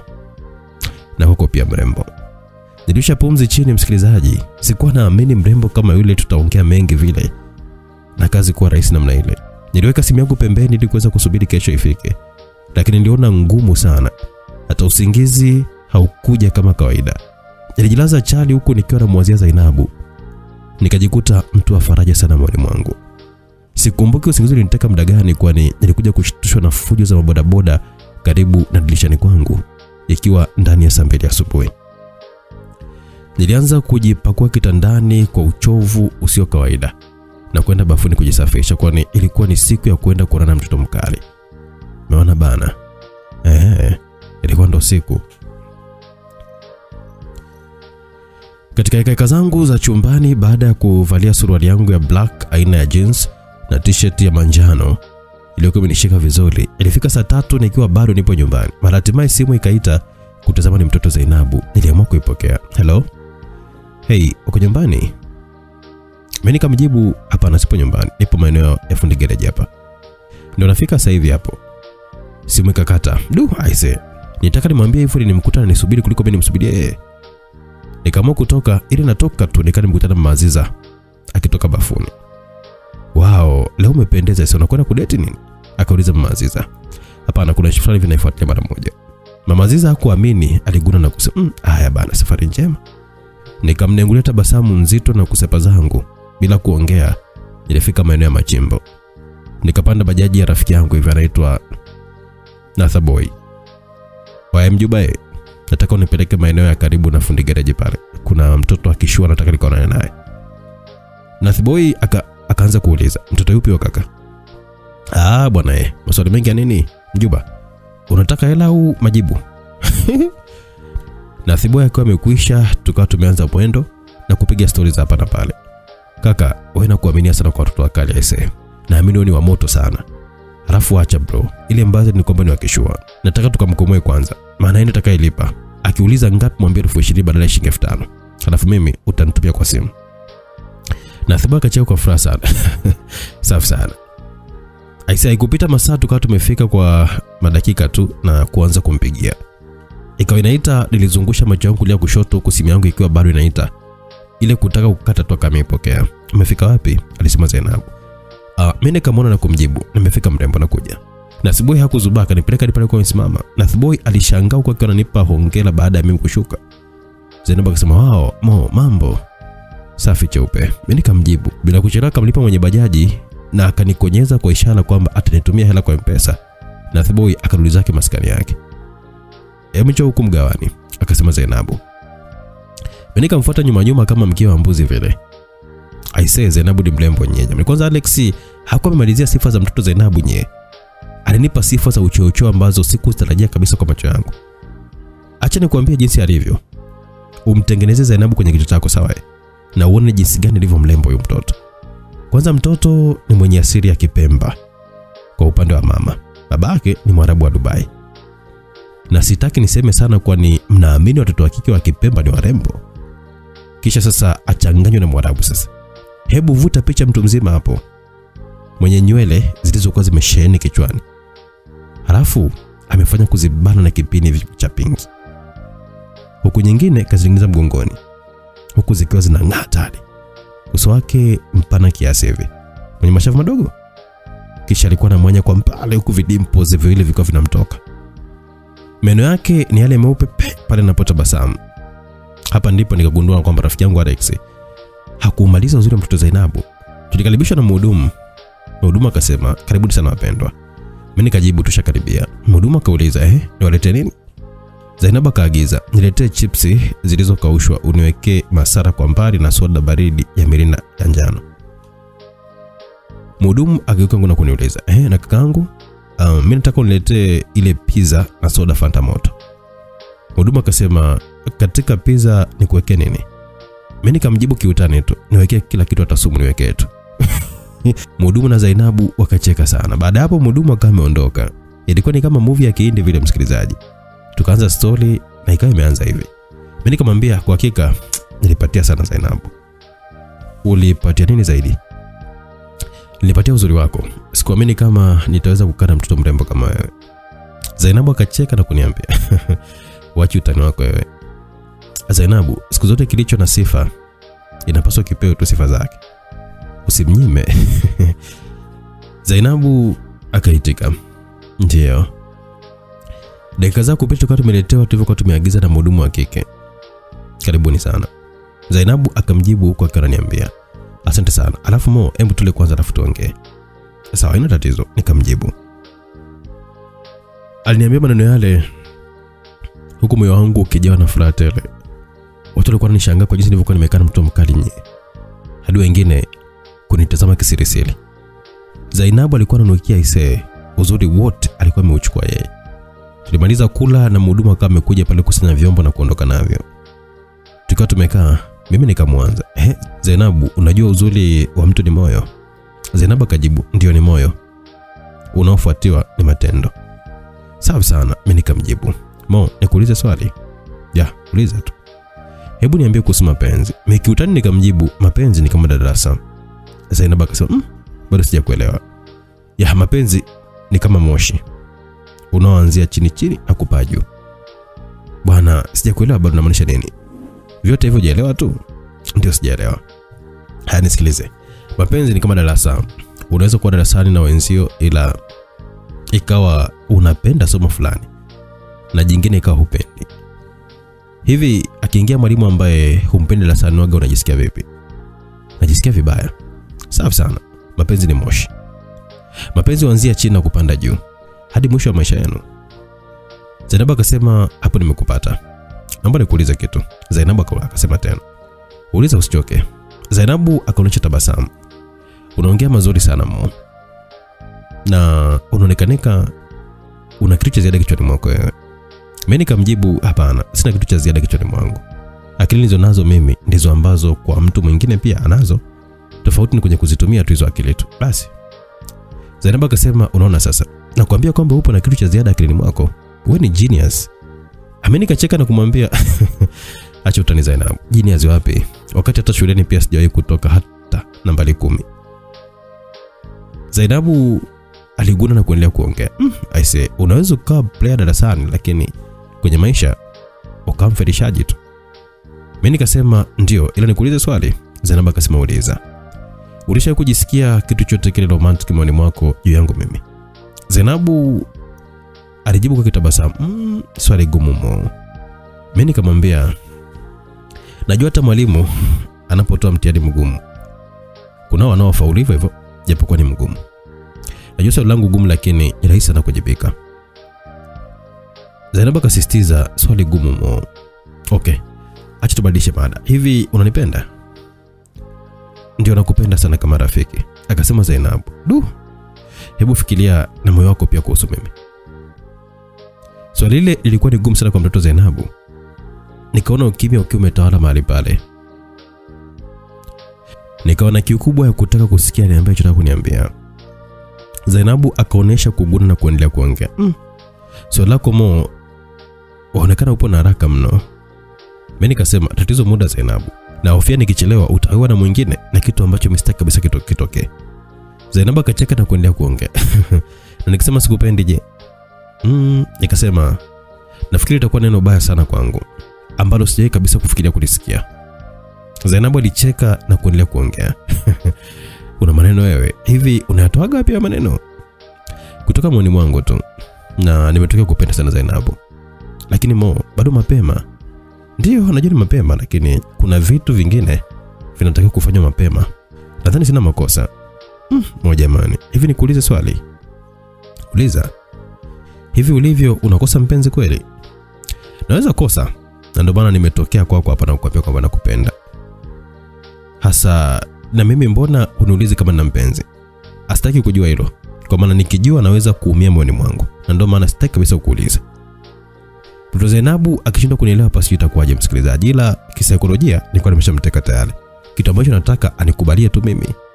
Zainabu akatazama saa yake mkononi, kisha akaniambia, Mo, nataka twende kwetu. Mimi nikamshangaa na kumuuliza, kwenu kufanyaje? Acha kuogopa. Asiogopi mtu ila naogopa risasi tu. Baba na mama hawapo, usiwe na wasiwasi wote ule. Tuliongozana hadi kupanda bajaji huku halaiki ya watu wakiwa na shangaa tu jinsi ambavyo nilikuwa nimemnasa mtoto mkali. Sikujua kitakachotokea kina Zainabu. Laiti kama ungetupa uwezo wa kuweza kujua kitakachotokea mbeleni basi nisingekuweza kukubali kwa hilo hata kidogo kwenda kwa kina Zainabu. Wazee wa Kiarabu achana nao kabisa msikilizaji, hawapendi masiara na wanao. Wakizingua anakupasua ubongo. Achana na hiyo, mimi nishawahi kufualiwa in love na mtoto wa Kimanga hadi kutafutwa na maskari kwamba anachezea binti yake. Si nikaamua kuhama nchi. Achana masiara nye. Mimi nikasema da, aise, mbona mishipa ya damu inataka kusita hivi? Mm, jamani huo. Acha uoga wako huo. Au upo na pressure? Sio hivyo, nahisi kama ndo mwisho wangu vile. nisha kwambia bwana, wapo wazee wanakuja saa mbili usiku. Zainabu akazidi kuniondoa wasiwasi wa moyo, lakini wapi, nakwambia rafiki yangu, moyo ulizidi kunidwika kama mtu ambaye alikuwa amenusurika kifo, ila mtu mzima mimi sikujali. Mzee wa Kiarabu atanitishaje bwana kizembe hivyo? Hatimaye tukafika karibu na geti. Zainabu akang'oa geti na mlinzi akawa amefungua geti dogo. Nikaingia ndani huku nikiwa natizama mandhari jinsi yalivyo. Mbona naangalia hivyo? Lazima nitazame mazingira na vichodo vya kufanyia uninja wangu. Acha hivyo bwana, wazee warudi saizi, akasema Zainabu. Safi sana, nimekuelewa Priyanka Chopra. Zainabu akatabasamu na kusema unanipa majina ya watu bana. Tukazidi kuingia ndani na nikawa nimetulia kwenye sofa kubwa lililokuwa limelembeshwa vizuri sana. Macho yangu hayakuwa anatulia, nilikuwa nazungusha huku na kule. Kwa ghafla nikaona dalili kwamba huyu mshua ni mwanajeshi. Kumbe toba, leo nimeingia cha kike, yaani hapa fulu kudedishwa say, sio kwa gwandalili la kijeshi, msikilizaji. Jamani, mwembo acha wasiwasi, hapa ndo nyumbani. Asante sana. Zainabu akaniuliza, sema nikuletee kinywaji gani? Ah, kwa kuna nini na nini? Kuna juisi, maziwa, soda na maji. Da. Kwa huko tu nadra sana kunywa juisi. Hebu lete juisi ya parachichi. Na nini tena? Akauliza Zainabu. Kama kuna vitafunio niletee. Vitafunio gani kuletee? Du, aise utazani nipo hotelini. Fanya hivi, niletee zile bagi ya dengu na viazi hivi hapo itakuwa ni furu shango yani. Zainabu alicheka kwa vituko vyangu. Kwani ndivyo nilivyo msikilizaji. Unakuwa mchangamfu bwana, sio ukae kitu kimya kimya tu vile kama una mdomo bana. Zainabu akaniletea huko akiniuliza, "Mo, vyote hivyo utavimaliza? Vikibaki haina hasara mimi kuvibeba au haitakiwi?" "Ah, yaruhusiwa," akasema Zainabu. Tumzima bwana, nikaanza kula. Aise, vilishuka kooni kwa ulaini na utamu hatari. Pata picha, unashushia na juisi ya parachichi baridi kwa mbali eh? Nilikuwa nataka kumuonesha Zainabu kwamba mimi ni mtoto wa kitaani yani. Zainabu akaniangalia, sijui alinionaje mimi hata sikujali kwake. Nadhani wale vijana wengine wangeitisha maji na chakula wangesema kwamba wameshiba. Ndo nikaamua kuagiza vitu ambavyo sikuwahi kuvipata.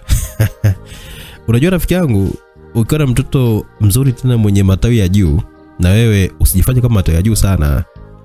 Nilichokuwa nataka mimi ni kucheza na akili ya Zainabu tu. Baada ya kumaliza msosi nikamwambia Zainabu, nashukuru kwa msosi wako mtamu. Karibu. Mimi nikatamka, nadhani wakati ndo huu sasa. Wakati wa nini? Akauliza Zainabu. Wa kuniambia ulichotaka kuniambia kila siku kutoka kwako. Zainabu akauliza kipi hicho? Si wakuwa mpenzi wangu wa dhati? Au sau jamani Mo? Ah, nitasahau vipi? Kwani mpenda jamani mimi wa moyo? Hmm? Na kukumbuka kila dakika ujue.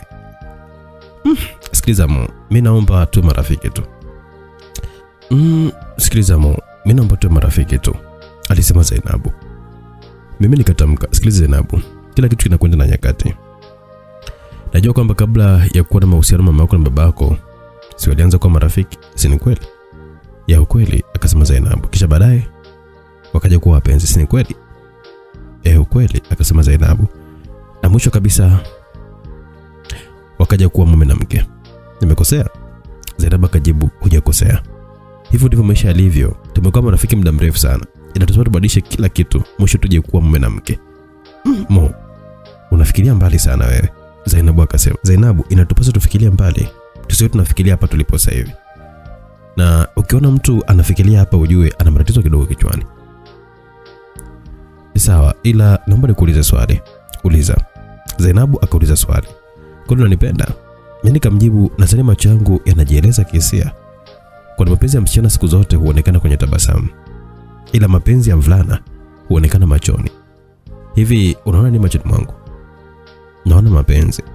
Safi sana, hicho ndicho kitu ambacho kipo ndani moyoni mwako juu yangu mimi. Nakupenda sana. Ndio mpenzi. Ila Zainabu, naomba kitu kimoja. Kitu gani? Lipsi zako zimefanyaje? Akauliza Zainabu. Nataka nizione jinsi gani zilivyo laini. Mm, oh jamani. Kidume mimi sikuteteleka ise, nikamfuata pale pale alipo na kumsogelea. Aise mtoto alivyoiviana na weupe wake jamani, hisia za kumtamani zikaniingia muda huo huo. Mtu Zainabu akaniacha mtu mzima, mimi nifanye kile nilichokuwa natarajia kufanya muda huo, denda maji maji na kuanza kupitishana ulimi. Mm. Mtoto akazidi kunukia tu utamu wa vanila. na nywele zake ndefu huku zikiwa zimepakwa mafuta ya udi wa Kipemba. Ile kutaka kushuka shingoni, ghafla honi ya gari getini kasikika. Zainabu akanisukuma na kwenda kuchungulia dirishani huku akiwa anatamka, Mungu wangu, baba amerudi. Mtu mzima nilishtuka na kuuliza, eti nini? Zainabu alijishika kichwa. Baba amerudi, Mungu wangu. Du, yamekuwayo tena. kongomini nikaamua kunyanyuka kwenye sofa kwa haraka haraka. Nikachungulia dirishani kama ambaye siamini macho yangu eti. Du, aise nikaliona gari aina Land Cruiser jeupe. Ndio lilikuwa linaingia kindakindaki. Zainabu, si umesema kwamba babako hadi saa mbili usiku ndo anarudi? Nikamuuliza. Zainabu akanijibu kwa kana tema. Sijui leo imekuwaje. Zainabu hakuwa kutulia na dakika zilikuwa zimesalia. Alikuwa mwenye kutetema kama ndege alikuwa na mvua. Hakujua afanyaje. Jasho jembamba kuanza kumtoka usoni mimi ndio nachokifanya ni hiki hapa. Zainabu, chumba chako kipo wapi? Zainabu akiongea alikuwa anipeleka katika chumba chake, kipo huko njoo. Kwa haraka nikamwambia, relax, acha pressure. Hii mission inahitaji akili na mahesabu makubwa sana. Sasa utafanyaje? Najua mimi. Cha kwanza simu yako uwe nayo karibu sana. La sivyo leo na uwawa mbele ya macho yako. Zainabu akalalamika, jamani usiseme hivyo. Kidume mimi nikajitumbukiza chini ya uvungu wakati babake alikuwa anamuita Zainabu. Babake anasema Zena, njoo mwanangu. Zainabu alitoka nduki bila kuchelewa. Nikiwa niko ndani ya uvungu kidume mimi nilikuwa nimeishiwa pozi. Huku nikizidi kutetemeka na kijasho cha mpaka kinanitoka. Ndani ya uvungu kulivyo kusafi aise nikatamani hata kulala. Lakini mawazo hayo niliona kama vile yananichongea pabaya. Cha kwanza nikaweka simu yangu silence. Huku Zainabu akaenda kujipitisha huku na kule, aliingia na kutoka, mara ingia toka. Hakuwa mtulivu kabisa. Nilichokifanya nikawa nimechukua simu na kumtumia ujumbe. Kipi kinaendelea hapo? Zainabu akanijibu kwa ujumbe, nipo na baba sebleni, amekuja na wageni, kisha mbaya zaidi wengine watalala katika chumba hicho changu. Mimi nikamjibu, hilo sio tatizo kwangu, kwanza ni wa kike wa kiume. Zainabu akajibu, ni wageni wa kike, lakini hawatalala hapo chumbani kwako. Mimi nikaa nimemjibu hivyo, akanijibu watalala na mimi, kisha mbaya zaidi baba amesema kwamba anakuja kusogeza kitanda ili aweke kingine. Mimi nikasema moyo, du aise, kazi ipo. Zainabu akatuma message tena, baby ni kubaya ise. kisha amemtuma mtu wa shangazi kuja kufagia chumba hicho. Mimi nikamrushia message kwa haraka haraka sana, baby leo naenda kukamatwa, ila kabla sijakamatwa naomba nikuambie kitu kimoja. Zainabu akajibu, kitu gani? Unanipenda? Ndio nakupenda mo. Mimi nikamtumia tena ujumbe, kwa hiyo upo tayari tuingie kwenye lindi la mahusiano ya muda mchache kabla mimi kuuawa? Ndio, lakini useme hivyo mo. Au nafikiri kwamba nitasemaje? Naomba unipe jibu. Si nimesha kuambia nipo tayari lakini hauendi kuoa bwana. Mimi nikamtumia message ndefu kiasi. Sikiliza Zainabu. Nimefanya ile kitu kwa ajili yako. Nilisi haya mambo yatatokea tu tokea nilipokuwa tunakuja hapa. Ila ngoja nikuonyeshe mchezo unafanywa Zainabu. Ujue kwamba mimi kama tukizembe hivyo. Zainabu akauliza swali, utafanyaje? Mimi nikasema cha kwanza, hakikisha mtoto haji kufagia chumba chako. Ng'ang'ania hadi umpokonye ufagio anapokaribia chumbani. Sawa. Cha pili, Zainabu amejibu. Cha pili, hakikisha kwamba unapotoka mchumbani unafunga mlango kwa funguo. Tatu, uache mlango wa jiko wazi. Nne, mpe taarifa babako kwamba kuna mtu amekuja kumuulizia. Hmm, huyo mtu ni nani sasa? Mwambie ni Ilyasa ila leo niita Sulemani. Zainabu akasema kingine nisemaje? Mwambie kwamba atarudi tena. Zainabu akatuma meseji ya mguno. Mm, wewe usijali, kila kitu kitakuwa sawa tu. Nikamtumia ujumbe huo huku moyo ukiwa unanidunda kwa hali ya juu sana. Hebu vuta picha mwamba wangu, upo ndani ya mjengo na mtoto akishua ndo mara ya kwanza hapo, alafu babake ndo ameingia. Mbaya zaidi, mshua hataki kuelewa, anakubutua risasi tu. Kwa ghafla nikawa nimesikia vishindo nje ya mlango, watu walikuwa wanakimbizana, kumbe ni dogo alikuwa anakuja kufagia, ila Zainabu akamwahi na kumpokonya mfagio. Zainabu alikuja hadi uvunguni na kuinamisha kichwa. Vipi huko? Nikamuuliza. Ah, hali ni mbaya sana ise. Da. Ise hapa si kama tukijinga mimi. Ila fanya nilivyokuwa nimekuambia. eh. Sawa. Nakupenda Zainabu. Hata mimi nakupenda. Baada ya kunipa jibu akameondoka ameondoka mle na tukawa tumeanza kufanya kile ambacho tulichokuwa tunataka kufanya. Nikamle ndani ya uvungu tuli kama maji ya mtungini huku masaa akiwa anasonga taratibu. Nikaona kutulia so issue. Nikamtumia ujumbe Zainabu. Baby, hebu njoo huko. Sawa nakuja. Kwanza kabla ya kuja tazama jikoni kuna nani? Akasema hakuna mtu. Vizuri sana. Mimi nikajibu. Zainab akashangaa kulijibu eti vizuri. Eh, ndio, kwanza njoo huku chumbani. Baada ya dakika kadhaa Zainabu alikuja hali ya kwamba hayupo sawa. Zainabu akasema yes baby. Mimi nikamwambia sasa ni muda wa kutoka hapa na kuelekea jikoni. Cha zaidi kamtoa mama yako jikoni. Zainabu akasema hasa nitamtoaje mama? Kamwambia kwamba babako anamuita. Hey. Eh, ndio fanya hivyo, upo na dakika moja tu. Tunakwenda kwa masaa hapa. Zainabu akasema, "Eh, alafu kingine?" Weka mwambie hivyo. Akija sebleni mimi utanikuta nipo nje. Ambako sebleni utamwambia kwamba kuna mtu alikuwa amekuja kumuulizia. Umenielewa? Zainabu akasema, "Nimekuelewa." Ila na mama akifika sebleni kwamba ameitwa na hajaitwa itakuwaje labda? Mwambie ulisikia vibaya. Sawa, nimekuelewa. Fanya nilivyokuambia. Kwa dakika moja ubakishe sekunde tano tu. Zainabu akaondoka na akili zake. Hakufunga mlango ule mlango wa chumba chake na taa akiwa mezima. Zainab alikwenda hadi jikoni na kwenda kumwambia mama kwamba anaitwa na baba yake. Mtu mzima mimi nikajitoa pale uvunguni na kujiziba na mlango, nikamwona mama yake Zainab akiwa anapita. Nami nikaa nimejitoa taratibu hadi jikoni kwa kunyatanyatia kuhakikisha kwamba sisikiki. Nikafunga mlango taratibu na kutoka na dirisha ambalo nilikuwa napita mimi. Mtu mbonge apite hapo lazima unaswe tu. Nilifanya maujanja ndani ya dakika mbili tu nikanyatia nyatia taratibu. Mamake na Zainabu alifika kwa mume wake. Mama Zainabu akasema, "Nimekuja mume wangu, niambie." Babake na Zainabu akashangaa kumuuliza, "Kuna nini bibti?"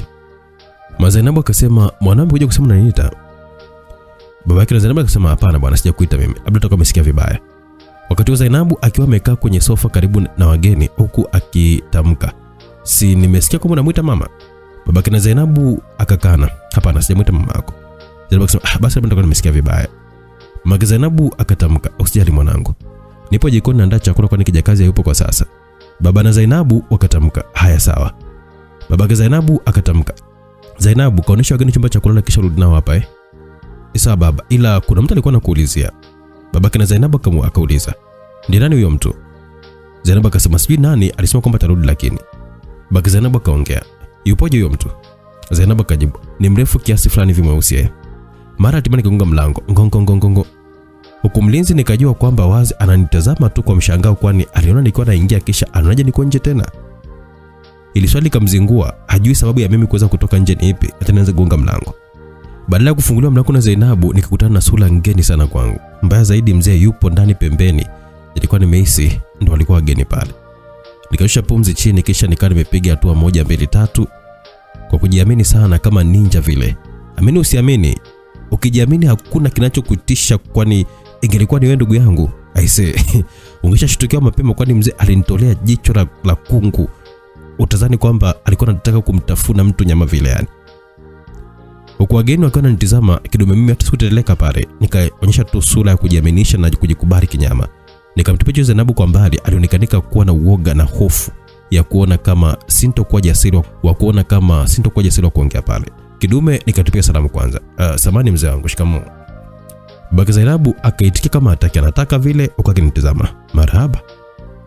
Mimi nikamwambia nilikuja kipindi kilichopita na sikukukuta. Babake Zainabu akaongea, ndio sikuwepo. Sawa, kuna nini? Mimi nikaanza kujitungia tu pale maneno ambayo nilikuwa nishapanga kichwani kwangu.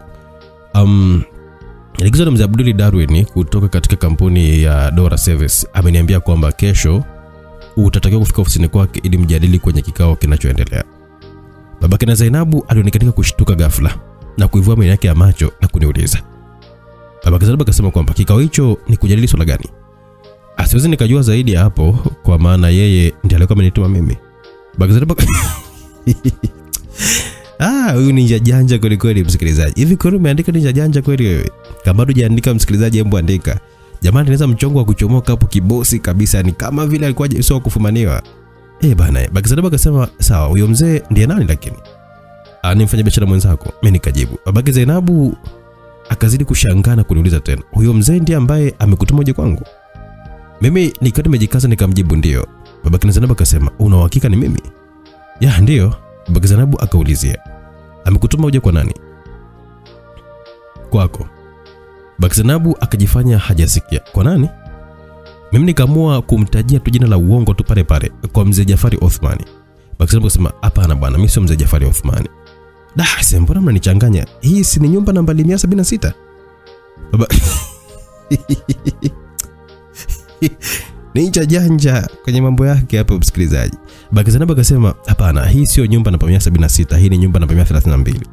Kuanzia namba 200 zipo nyuma huko.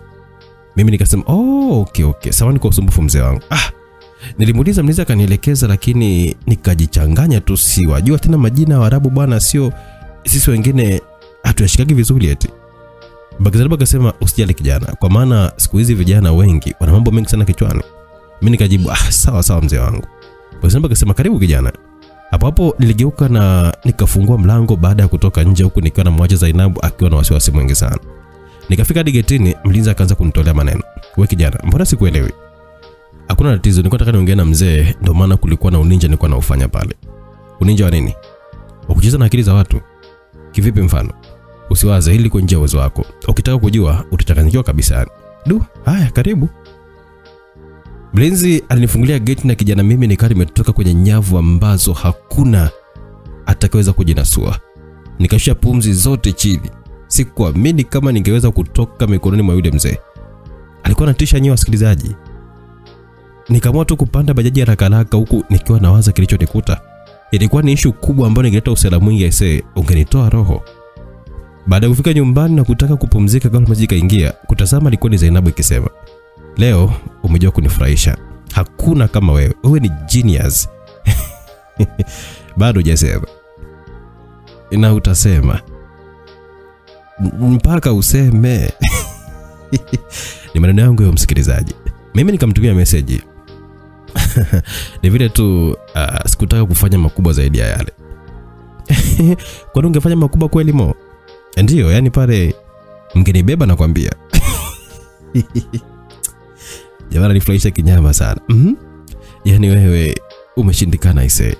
Usiwaze sana. Yaani ikitokea nchi yenye mafunzo ya kininja we niite tu, hata usiogope. ah, jamani mo, ina maana kwamba unajiamini sana eh? Nisipojiamini nataka niaminisha sasa. Hakuna, ila mo, nikwambie kitu. Mimi nikamjibu huku macho yakiwa mazito mithili ya nanga. Ndio niambie, nakupenda. Ah, mimi nakupenda zaidi unavyofikiria. Nakupenda zaidi ya marafiki zako. Nakupenda zaidi ya moyo wako unavyohisi. Nilimwambia Zainabu maneno matamu yenye kumfanya afarijike sana na niiteke akili yake mazima.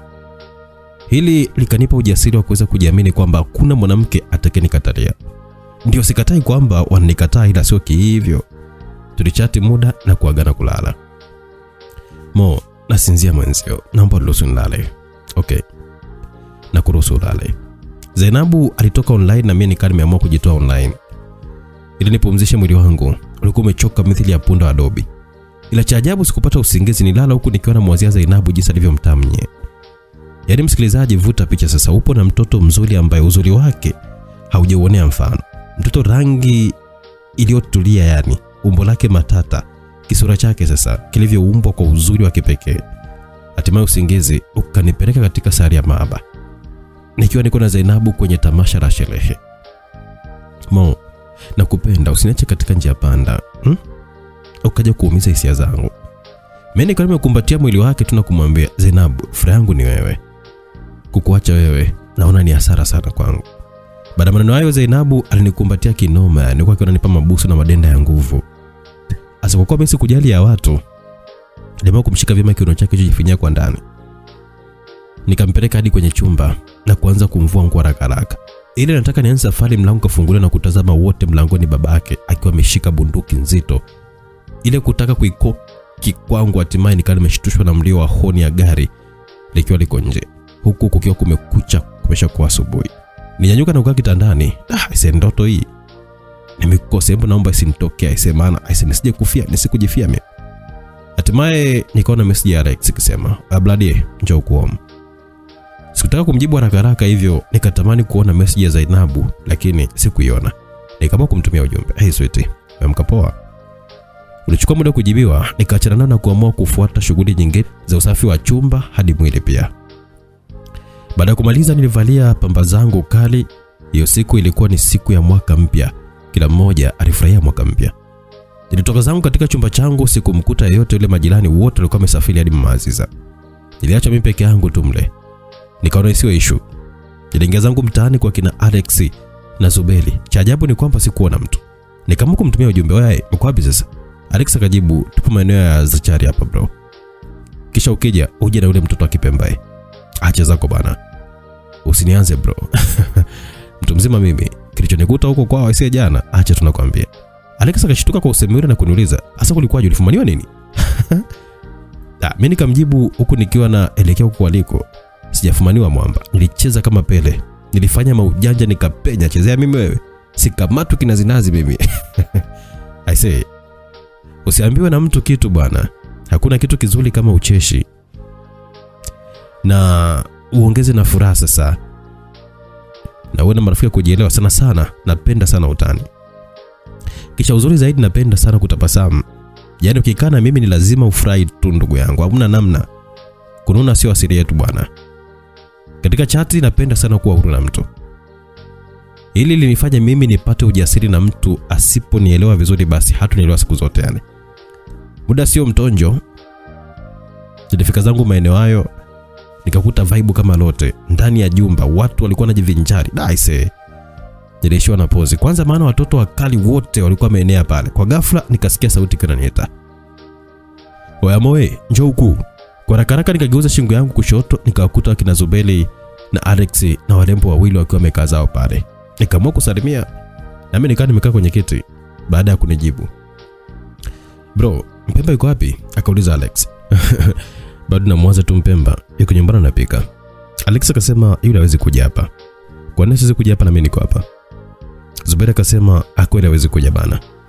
Maana napenda kuwa peke yake peke yetu kama kwa kutaga bana. Mnanipa na ngapi kija hapa? Nikauliza. Alex na zubeda akasema tuna tutakupa utakacho, tuoneshe kama upo na uwezo wa kumtoa kwao aje hapa. Nilicheka kwanza kifala yani. Hajini pona mbinu nyingi sana na naweza kumfanya hata msichana akajiloga mwenye kwa, kwa ajili yangu mimi. Nataka nipe dakika tano. Alex na Zuberi wakajibu sawa. Ni hivi, Zainabu kwa kweli nyumbani kwao kulikuwa ni kama gereza.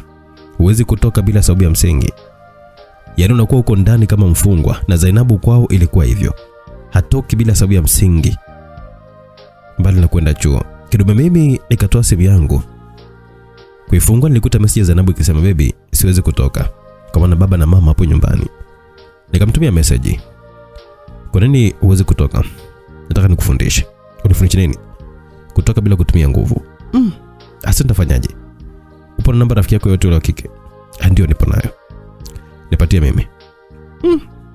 Uifanyaje mo? Nitaka nifanye uninja wangu mimi. Nitakupa ila usinitaje sawa? Usiwaze, nakupa dakika tano tu mchezo utakuwa umeshaisha. Chukua hiyo 067. Asante. Nikaa nimejibu. Nikachukua na kuisevu ila sikutaka kujua jina lake.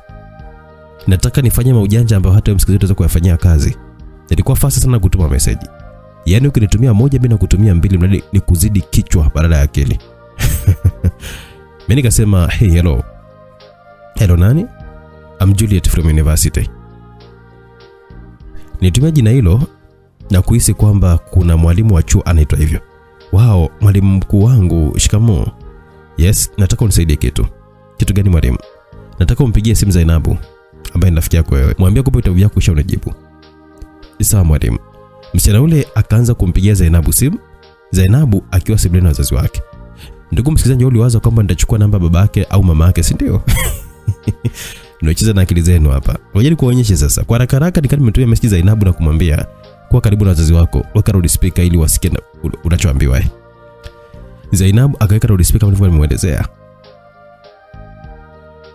Baada ya Zainab kuweka sauti ya juu wakati akiwa anaongea na msichana. Msichana akasema, "Hello Zainab." "Yes." Msichana akasema, "Mwalimu mkuu kasema kwamba uniletee vitabu vyangu nilikuwa amekupa sasa hivi." Kisha simu ikakata. Mazanabu aliposikia akaanza kuongea, "Mwanangu, nilikukataza kuchukua vitu vya watu, lakini hata unisikii." Baba Zainabu akaingilia kati. "Kwa nini Zainabu ukiambiwa na mamako unakuwa uelewi?" "Hapana baba, ndo nimalizia kutumia sasa hivi, naomba tu nikampelekee mwenyewe." "Sawa mwanangu." Ila usichelewe kurudi, eh?" akasema babake na Zainabu. Mimi kwa haraka haraka nikaa nimemtumia message Zainabu. Kwani muda ulikuwa unasonga haraka sana. Zainabu kukupoje? kupoje? Ndio nakuja sasa hivi. Baba ameniruhusu nije. Fanya ima ima. Maana muda unakwenda sana. Zainabu aliingia bafuni kujisafisha mwili. Hakuchukua masaa mengi baada ya kumaliza alivalia nguo zake, gauni la njano na shati jeupe. zikiwa zimemkaa vyema kabisa, kisha kama amewaga wazazi wake huku akiwa kabeba begi lake mgongoni. Hakuamini hata amepewa ruhusa. Ilikuwa ni shughuli kwake kutoka nje bila ridhaa yote ile. Alex akasema, Mo, mtu wako anazingua, mbona hatuoni dalili yote ile ya kwamba nakuja? Atakuja sasa hivi, nawapa dakika tano tu, mtanibeba nawaambia leo. Zainabu akanitumia message, hello, umesema uko wapi? Njoo hapa maeneo ya Zachary, utanikuta nimekaa hapa. Upo na nani? Nipo na kina Alex. Wow, nipo karibu kufika. Ukifika naambia nije nikupokee. Sawa. Nilikuwa nataka wajue kwamba mimi sio mtu wa kuzubazuba kwenye misheni kama hizi. Hatimaye alifika mtoto bwana. Nikamwambia kina Alex, nisubiri naenda kumchukua. Nani huyo? Alex na Zuba akawa ameuliza. Mpemba Mwarabu. Alex hakuamini na kuanza kuona kama ni utani utani tu hivi. Acha masiara. Yule mtoto aje hapa. Kwa ruhusa nani kwao? Wakati nishaondoka maeneo hayo, tukaonana macho kwa macho na Zainabu, mtoto jinsi alivyokuwa ameumbika jamani, kuanzia juu hadi chini unyayoni. Nilimfikia karibu zaidi. Mimi nikampa bonge la hagi huku nikiwa namshika mkono. Vipi mtoto mzuri? Zainabu akasema safi. Leo umenijulia mpenzi. Nikamwambia hivyo. Kwa nini? Kwa, vazi lako hakika umependeza na sina uvivu kukosa kukuambia. Alex na Zube walishangaa huku wakiwa wameshikwa na butwa ya macho wa kuamini. Tulifika pale nikamkaribisha. Karibu Malikia. Zainabu alitamka akiwasalimia akina Alex na Zubeli pamoja na wale wadada. Asanteni sana. Alex akasema da, SMO nimeamini kwamba kweli ni genius. Yaani umemtoaje Zainabu kwao? Acha chezea mimi wewe. Zainabu alifurahia kwa kuwepo kwetu, kwani ndo mara ya kwanza kwake kukaa na kundi la watu. Wajua siku zote ukipenda kukaa peke yako hutaona umuhimu wa watu. Ilikamfanya Zainabu ahisi furaha na amani sana. Mimi nikasema huyu ndiye Zainabu ambaye kwao niliponea katika tundu la sindano. Zainabu akasema mmm, jamani wewe Mo. Katika akili yangu nilikuwa nawaza mbali sana. Sikutaka nicheleweshe nafasi ya leo bila kucheza na Zainabu. Nikaanza kuwatungia tu maneno ya uongo pale ilimradi kwamba nisepe na Zainabu. Nikasema Alex na Zube, tusubirieni au tukichelewa sana mnaweza kuondoka tu. We jamaa bana, tuachie shem basi, Alex akasema. Mimi na Zainabu tukainuka na kuambia hamna kitu kama hicho, utazidi kumwachia Simba mbuzi wako lazima tamtafuna tu. Zainabu akasema, Mo, tunakwenda wapi sasa? Watu nitapajua tu. Mm. Mo, si unajua mimi nimepewa muda wa kurudi nyumbani. Mekiutani nikasema usiari, nitakwenda kusemea. Ah, subutu, unataka ni wawe Watu walizidi kunishangaa ise, natembea na mtoto mrembo hivyo njiani. Hata wale ambao walikuwa wakinisalimia walikuwa wameanza kunisalimia kinafiki tu, ili mradi tu apate sifa kwa mrembo Zainabu. Wakati huo nikiwa nishatega sehemu ya kwenda kumtuliza Zainabu, na hapo nikafanikiwa. Ni hivi, ukitaka kumua nyani usimtazame usoni eh. Ni sawa na kula na kipofu, ni sawa na kumwambia mtu leo nitakunyonga, utamkosa na kwambia. Tuliingia kwenye nyumba ya somo yangu. Wakati alikuwa ameshanipa funguo wa chumba, majirani wa pale wakawa wameanza kushangaa, ila nilihisi moyoni mwao walikuwa wanajiuliza maswali sana, ni akina nani hawa? Ila sikujali. Zainabu akasema, Mo, ndio wapi hapa? Hapa ni kwa ndugu yangu. Mm, Mo, wewe una vituko wewe, ndo tumekuja kufanya hapa? Anataka nikulete hapa ili nikuibia siri moja tu. Siri gani? Nilisoma akili ya Zainabu ndani ya sekunde mbili, nikamwona bado hajakuwa sawa. Sikutaka kupoteza wakati kwa sasa. Unajua kuna watu ambao hawapendi kutona tukiwa wawili. Kwa nini? Kwa sababu ya penzi letu linavyokuwa napendeza. Sasa tuwahitaji watu hao, akasema Zainabu. Mimi nikazidi kusogea tu karibu zaidi na kumjibu. Hao ni vidudu watu. Hawapendi kuona penzi letu linachanua maua. Hapo hapo nikayasoma macho ya Zainabu kisaikolojia zaidi. Nilihisi hapo tayari kufanya jambo lote lile.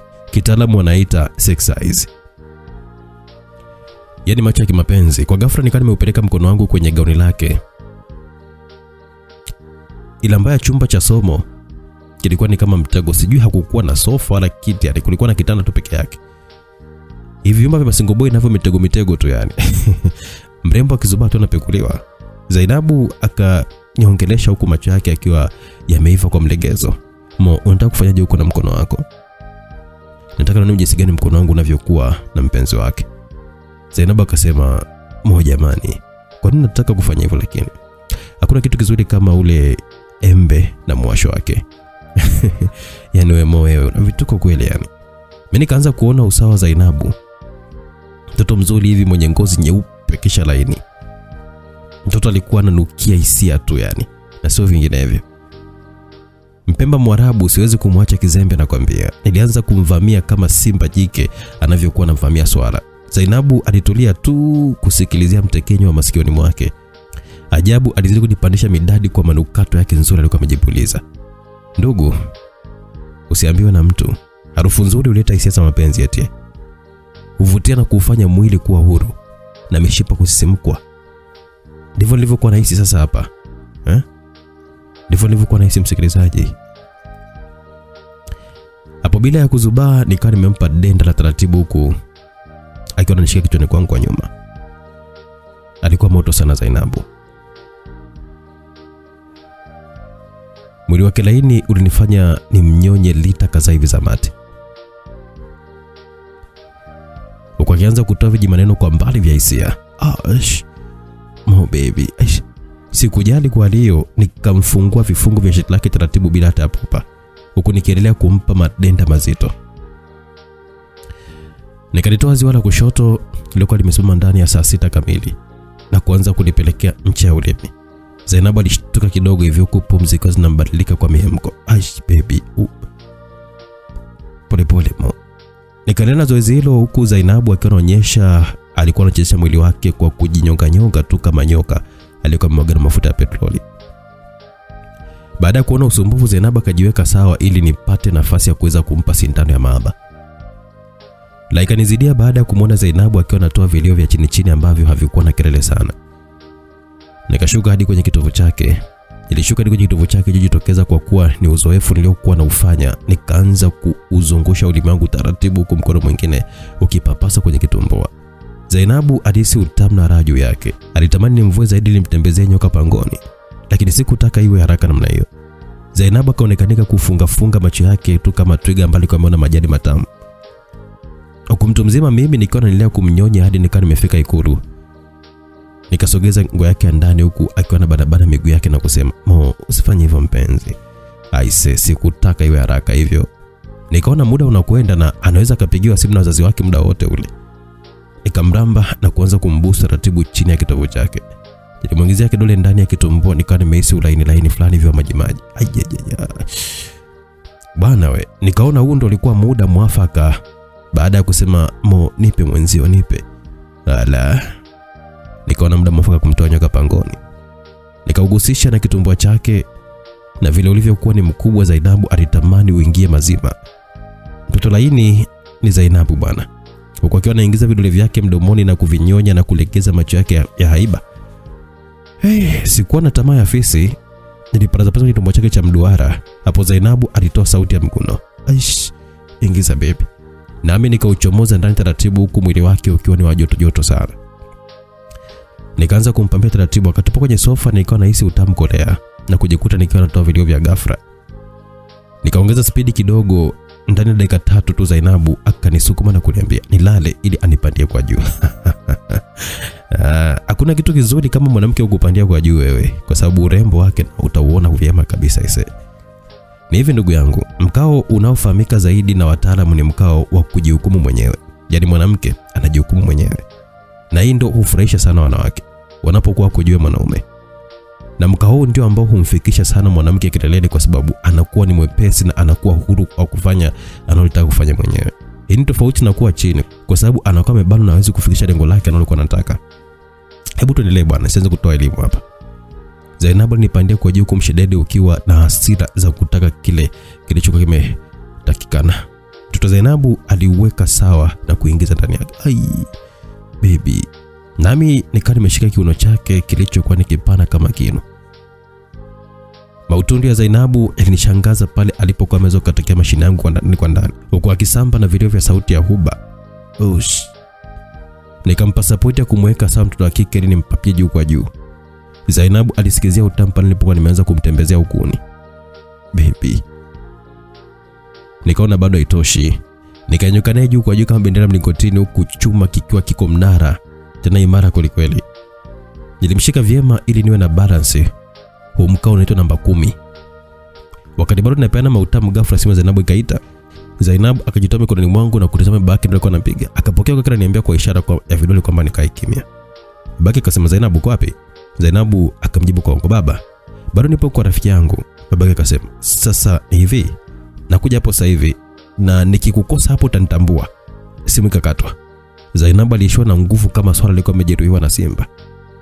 Mo, fanya tuondoke haraka sana. Baba anakwenda kwa rafiki yangu kunitizama. Nilifanya kile alichoniambia Zainabu huku akiwa na maki kama mfumaniwaji hivi. Zainabu, embo acha pressure. Kwanza mpigie rafiki yako umwambie kwamba nakuja kwao. Sina muda wa kuweza kushika simu kwa sasa. Nitampigia tukitoka. Niliona hali ya Zainabu ilikuwa imeshabadilika hata kuongea. Kwa maana alikuwa na anamuogopa sana babake ile mbaya. Tuliamua kutoka maeneo hayo ila mimi nikawa nimemwacha aende, sikutaka hata nifuatane naye. Zainabu, acha nikuache hapa. Jamani Mo, utaniachaje hapa sasa? Zainabu, muda unakwenda. Kitu unachotakiwa uende kwa masaa. Ni heri uepuke shari kuliko heri. Sawa, baadaye nitakutumia message. Sawa mtoto mzuri. Zainabu alipanda bajaji ili kumwahi mzee wake asifike kwanza kule. Mimi nikaondoka baada ya kupanda bajaji. Zainabu alifika nyumbani kwa rafiki yake akiwa na furaha sana. Merina, mambo safi tu. Mbona saizi? Nataka unisaidie kitu Merina. Kitu gani Zainabu? Babangu akikuuliza kuhusu vitabu utamwambia ndio sawa. merina akazidi kumshangaa Zainabu. Ghafla babake Zainabu ndo alikuwa anaingia na gari. Moyo wa Zainabu ukazidi kumpasuka kwa ndani, kwani katika akili yake alikuwa anawaza kwa kitendo ambacho tulikuwa tumekifanya. Babake Zainabu akatoka ndani ya gari hadi kwa Merina. Shikamo baba. Marhaba, ujambo? Si jambo. Mzee wako yupo ndani? Ndio, yupo ndani. Babake Zainabu akazidi kuingia ndani. Inasemekana babake na Zainabu na babake na Melina ni wafanyabiashara wakubwa sana na ni watu ambao wamesoma shule moja na ni watu ambao walikuwa ni kitu kimoja zaidi, ni kama ndugu. Hilo bado likamtia wasiwasi Zainabu. Wakati Zainabu na Melina wakiwa wako nje, waliitwa waingie ndani. Zainabu akiwa bado hamaki ipo, huku Melina akimkonyeza kwa jicho, ishara ya kwamba atulie. Babake Zainabu akasema, hebu kaeni hapo. Zainabu na Merina walikaa taratibu. Babake Zainabu akasema, Zainabu, ile begi mbona uko nalo mgongoni kwa nini? Swali likamtinga akilini kwa haraka haraka. Zainabu akamjibu wakati wazazi wa Merina walikuwa hapo katikati yao. Zainabu ghafla akafikiria maneno yangu kwamba cheza na akili ya mtu kabla ya kucheza na akili yako, kwa sababu sikutaka kuliweka chini. Babake Zainabu akasema, kwa nini hukumpatia Merina vitabu vyake? Kwa sababu sikutaka kumchosha, na tumeongea mengi sana kuhusu masomo, ndipo nikawa nimesahau hata kumpatia vitabu vyake. Merina akasema, na ni kweli baba, stori ilikuwa imenoga hadi nikawa nimesahau kama nimemwitisha vitabu vyangu Zainabu. Bakira na Melina akasema ni kweli kabisa, maana walikuwa wanaongea sana hapo nje kuhusu masomo yao. Kwa hiyo mzazi mwenzangu, usiwe na hofu juu ya hawa watoto wetu. Baki Babake Zainabu akasema haya, ndeni nje mkaongee. Zainabu na Milena wakawa ametoka nje, huku Zainabu akawa anajihisi furaha sana. Ila babako mkali sana ise. Ehe, wacha we, ni simba wasema wewe, hapa kwetu kuna chui mwenyewe sasa. Merina akasema baada dakika mbili Zainabu na babake walikuwa wameamua kurudi nyumbani. Zipita siku mbili bila kumwona tena Zainabu wala hakupatikana kwenye simu. Nikajaribu kupita pita kule mtaani kwao hata kumuulizia, lakini wapi, sikumtia machoni. Ilifika wakati maisha yalikuwa nazidi kunielemea ise, huku nikitafuta kazi lakini sikufanikiwa. Niliona mateso hadi kodi ya nyumba nilikuwa nadaiwa. Sikutaka kukaa kizembe, nilizunguka na jua kwa mvua, vyote kwa mpigo. Nikiwaelezea marafiki zangu shida zao zenyewe ndo zangu. Nyumba niliyokuwa nikiishi ilikuwa ni Mama Aziza, ila mume wake alikuwa ni mtu mwenye moyo mgumu sana wa kuweza kumwelewa mtu, hana kabisa huo moyo. Siku zote ukisaidiwa kuoshwa mgongo, na wewe pia jisaidie kuweza kujiosha tumbo, kwani hakuna atakaye kusaidia milele. Ni hivi, baada ya wazazi kufariki, nilijikuta niko mjini tu kimaisha, kwani haya maisha usipoelewa yatakuelewesha tu. Ujanja wote uliniisha ni sawa na ujanja wa nyani tu mitini. Jangwani ana ujanja kabisa. Hebu tuendelee msikilizaji. Katika harakati za kutafuta kazi, japo hata kuosha vyoo tu, nilitafuta tafuta ili tumbo lijae. Nilifika katika jumba moja hivi la kifahari ambalo lilikuwa na geti kubwa. Si wajua kawaida ya mjini bwana, majumba makubwa makubwa tu ndo ambayo yanangalisha mji. Niligonga geti hilo bila hata kuogopa. Hatimaye kukatokea mlinzi kijana ndani ya geti hilo akiwa amevalia full jezi yani. Sema kijana. Da, say anaita kijana utazani kwamba ndo mzee. Watu wengine bana, yaani wakishika ulinzi wanajikuta kwamba wao ndo wakubwa, sijui yani. Kwanza habari yako kaka, wewe sema unachotaka, salama iko mshiko. Dah see. Bro, mbona mkali sana hivyo? Unaongea kijana mwenzio hapa? Ndio, najua hivyo. Au wewe ni jambasi? Unataka kuvamia? Hasa maneno gani hayo bro? Ghafla likawa limekuja gari kubwa aina ya RAV4 nyeupe. Ikapiga honi. Mlinzi akiongea kwa anafungua geti kubwa. Oya ondoka, sije niharibia kazi. Ah, mimi nikakaa pembeni huku jua kali likiwa linawaka kwa ukali ambao sio wa kawaida. Baada ya gari kuingia ndani tu, kukatokea msichana mrembo sana ndani ya geti huku akitamka, we mkaka, mbona msumbufu hivyo? Msichana kama amesema, alisema maneno yale, kisha kama ingia ndani, habari zikamfikia bosi. Bosi akasema, huyu kijana anataka nini getini? Anasema naomba kuajiriwa. Mlinzi akamsema. Bosi wao akanyanyuka alipokuwa amekaa hadi kuja pale kuniona. Kufika tukatupiana macho sawia, sura zetu zikawa zimeleta kumbukumbu. Ghafla nikajikuta nikiwa natamka tu, mjomba. Ya, ndio mimi mjomba wako. Mjomba kama amesema, niona kama vile ndoto sijui. Aise, mlinzi alishangaa sana pale getini. Muda mrefu sana. Hebu tena ni mjomba. Mjomba kama amesema hivyo. Nikaingia kininja isiyo kunikuwa natizama namtazama yule mlinzi kilaza tu yani. Huku moyoni nikiwa nasema, usilete dharau zako kwa watu sio wajua wewe. Bwana we. Basi sawa. Nikawa nimeingia hivyo huku macho yakiwa hayatulia akiwa anatizama tu mandhari jinsi yalivyokuwa yamependeza. Huku moyoni nikisema mjomba, alikuwa muda wote nateseka tu kizembe hivyo.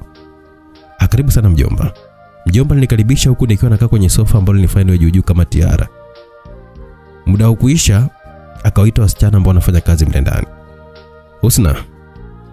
Nikasikia jina Husna tu aisee, mshipa ubongo kanitikisa. Ulitikisika msikilizaji? Kwa kuwa najua majina ya kina yanatajwa kuwa ni warembo sana. Abe baba, Husna kaiteka. Akamwita na mwenzio. Husna akaiteka huko kanaenda kumwita mwenzake. Sawa. Mjomba, hapa naishi na mama yako na hawa wasichana wawili na wafanya kazi tu hapa miaka mingi sana. Hadi wananiita kama baba yao. Na dada yako yupo chuo anasoma. Kwa hiyo karibu sana. Mjomba alinieleza yote hayo nami nikamwitikia. Sawa mjomba.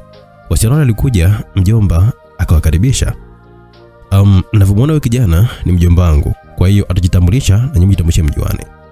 Mimi nikasema mimi naitwa Mohamed Juma. Ila ukipenda niite Mo. Wasichana walikuwa wanaoneana haya machoni mwao. huku kana cheka cheka tu chini chini. Mmoja akasema mimi naitwa Husna. Mwingine akiwa ananionea haya nyingi sana, kwani huyo ndiye ambaye alikuwa ni mrembo sana kumzidi Husna. Mimi naitwa Sara. Baada ya kujuana kwa majina, mjomba akawaambia, sasa mnaweza kufanya shughuli zenu. Wasichana wale wakawa wameondoka maeneo yale na kuniacha mimi na mjomba tu. Jisikia upo nyumbani tokea mamako afariki na babako ndio sikuonekanika tena yani. Nilikuwa nimekutafuta sana mjomba. Kwa bahati nzuri Mungu amekuleta mpaka kwangu. Tuliongea mengi na kusema kwamba atanisaidia kwa kila kitu. Nilifurahia na kujikuta nikiwa nimepona na kutoka kwenye mateso ya maisha. Ulifika muda wa usiku baada ya kula chakula cha usiku nikamwaga mjomba. Mjomba, naenda nyumbani kulala. Mjomba akiwa na mke wake walikuwa wamekaa na kuniambia, "Mjomba, si ulali tu hapa. Nitalala siku nyingine mjomba." Mjomba, ukitoka kwenye mlango usirudi tena hapa. Aliongea mjomba. Nikamtazama mjomba usoni. Nikamwona amekasirika na yupo serious kweli kweli. Niliamua nitulie tu huku nikiwa nawaza kule kwangu. Hatimaye nikamsikia mjomba akiwa ananiambia, "Kama upo na vyombo huko nyumbani kwako, kaviuze. Sitaki uteseke mimi." Nilimwitikia huku moyoni nikiwa najisemea, "Ah, sasa nikiama na vyombo kule, nitapata wapi ujasiri wa kuweza kuleta watoto wazuri hapa?" Hapana bwana, kitu kama hicho. Nirudi ndani, nilikaa sebuleni kutoka natazama TV na Husna baada ya mjomba na mke kuingia kuingia chumbani mwao. Sara akasema, "Husna, mimi naenda kulala." Mojei, bye. Husna akimjibu kwa utani, "Wewe ndege, siku zote kulala mapema tu wewe." Sara alikuwa alishaanza kunizoea kwa ukaribu sana. Ni hivi kwa wasichana sifa zao ziko hivi. Sara ni mfupi kiasi, kisha mwenye upana wastani. Huku akiwa na msambwanda ulioifanya roho yangu kupepeteka kweli kweli. Kwa sura yake na nywele zake zilikuwa zikumpa nambari moja kwa uzuri wake. Mbali na hiyo, hana dharau, hana majivuno, mpole kisha mchangamfu zaidi. Kwa upande wa usna alikuwa ni mrefu kiasi kisha mwenye sura nyembamba, kasura kama Msomali. Alijaliwa na nywele ndefu kisha, mbali na hiyo, hakuwa mtulivu. Alikuwa ni msemaji sana humo ndani. Aya, tuendelee. Kwa ghafla tu usna akanyanyuka pale kwenye sofa na kwenda kuizima taa pale sebleni ili mwanga wote umulike vizuri. Nilimshangaa sana huku nikiwa najikuta nasinzia tu pale pale mwisho wake Nikawa nimetekwa na usingizi pale pale. Nikachuta vimaneno kwa mbali vikawa vinasema nipe nipe mmoja jamani. Aish aish. Hatimaye nikakurupuka kutazama alikuwa ni Husna ashanivua hadi bukta kuna deki. Kisha akaniambia nyamaza kimya. Ah, nikaona sio sawa pale nikamwambia bana niache nilale mimi. Husna akalalamika kwa ngangania tu kuweza kumtoa nyoka pangoni. Mo bwana. Mm? Nilimtoa mkono wake kwani nisije nikakamatwa na mjomba pale ikawa ni issue kwangu. Husna, embo acha bana. Eh? Utanifanya nifukuzwe humu ndani. Huwezi kufukuzwa mo kidogo tu jamani. Na kweli pale sebuleni kulikuwa na giza kali sana. Husna akafanikiwa kumtoa nyoka pangoni na kumwingiza mdomoni. Huku akianza kumfyonza sumu yake taratibu kabisa. Husna alikuwa anafanya kitendo hicho huku nikiwa bado sijatulia. Kwani ndo mara ya kwanza mle ndani kufanya vile. Husna akazidi kunigosha na kuniambia kwamba twende basi nikakuonyesha chumba chako alichokuwa amekupa mjomba wako. Bila kuchelewa nikani menyanyuka haraka haraka pale. Tulifika mlangoni kisha akanikabidhi ufunguo baada ya kufungua mlango huo. Niliingia ndani naye akawa amejichoma ndani. Huko akawa ananipapasa kifuani mwangu. Unajua ndugu yangu alichokifanya Husna? Alinisukuma kitandani huku nikiwa nimelala chali akanipandia kwa juu na- kuanza kunitembezea ulimi wake kwenye ncha kali. Na mimi nikaona nishirikiane naye tu huku nikiwa namvua taratibu bukta yake. Nilimpapasa mwana yule huku akishindwa kujizuia na kutoa miguno ya raha. Mtoto wa watu alizidiwa na hali ile huku akiwa anaendelea kulalamika. Husna alionekana kuloana vya kutosha. Huku akiniambia, moja, jamani, nipe, nipe." Husna alilalamika huku akiwa anashikashika msumari wangu ulikuwa umesimama wima. Mwishowe akautoa kwenye bukta yangu. Nikamnyoa juu juu kisu kimepata makali. Kwani sikuona haja ya kuweza kumtesa sana. Nilimgeuza na kumweka ule mkao maarufu sana, kifo cha mende. Miguno yake tu ilinipa mshawasha wa hali ya juu sana. Nilimlaza chali huku miguu yake nikiipanua, kisha kwa utundu wa Husna akakunja magoti yake na kupeleka hadi kifuani mwake, huku kitumbua kikiwa kimejitokeza ipasavyo. Kijana mimi sikuona kinyaa, nilizama chumvini bila hata kujali. Taratibu nikautoa ulimi wangu huku nikiwa nafanya mduara nje ya kitumbua. Mtoto Husna alizidi kugenyeka tu huku akiwa anazidi kunikandamizia kichwa changu kwa mikono yake. Alihisi mtekenyo ndani kwa ndani. Alipiga miguno ya mahaba pale hatari. Vilio vyake vilifanya ni wazimuki kwa ufundi huku akiwa ananikatia kiuno. Unajua ndugu yangu, wapo baadhi ya wanaume husema kwamba kufika kwa mwanamke kileleni ndo mapenzi, lakini ifahamike kwamba kufika kwa mwanamke kileleni sio mwisho wa mapenzi. Kumfurahisha mwanamke sio kumfikisha kileleni tu, bali kuna mambo mengine tu ambayo unatakiwa kuweza kumfanya afurahie, hata kama hujamfikisha kileleni. Na kama nilivyokuwa nimeelezea, kufanya mapenzi kunahitaji maandalizi mazuri ya kutosha. Mapenzi ni ufundi bwana. Tuendelee, chana na hilo somo hapo. Kama linakufaa lichukue, kama likufaa achana nalo. Taratibu bado nilikuwa nafanya mauninja kwa Husna. Alikuwa ni mtu romantic sana. Ushangae ukiniona mtaani naitwa Mr. Romantic. Eh? Nilikuwa napenda romance kuliko kitu kingine chochote kile. Nilianzia juu kwa chuchu zake konzi, mtoto kifua kilikuwa juu, huku macho yake yalikuwa yanazidi kulegea kama kara kungumanga. Nilizivamia kiubunifu wa hali ya juu sana na kuanza kuzifanya kama vile nalamba pipi hivi nikiachiachia. Husna akasema aya ui. Husna alikuwa na hema kama mtu ambaye alikuwa anakimbizwa 100 mita, yani mita 100. Pumzi zilikuwa zinampeleka hadi kunibana kwa mikono yake. Kwa upande mwingine, Sara aliamka na kwenda msalani, ila cha ajabu alipita sebuleni na kukuta taa ikiwa imezimwa. Akashangaa sana na kuanza kuita Husna, Husna, Husna.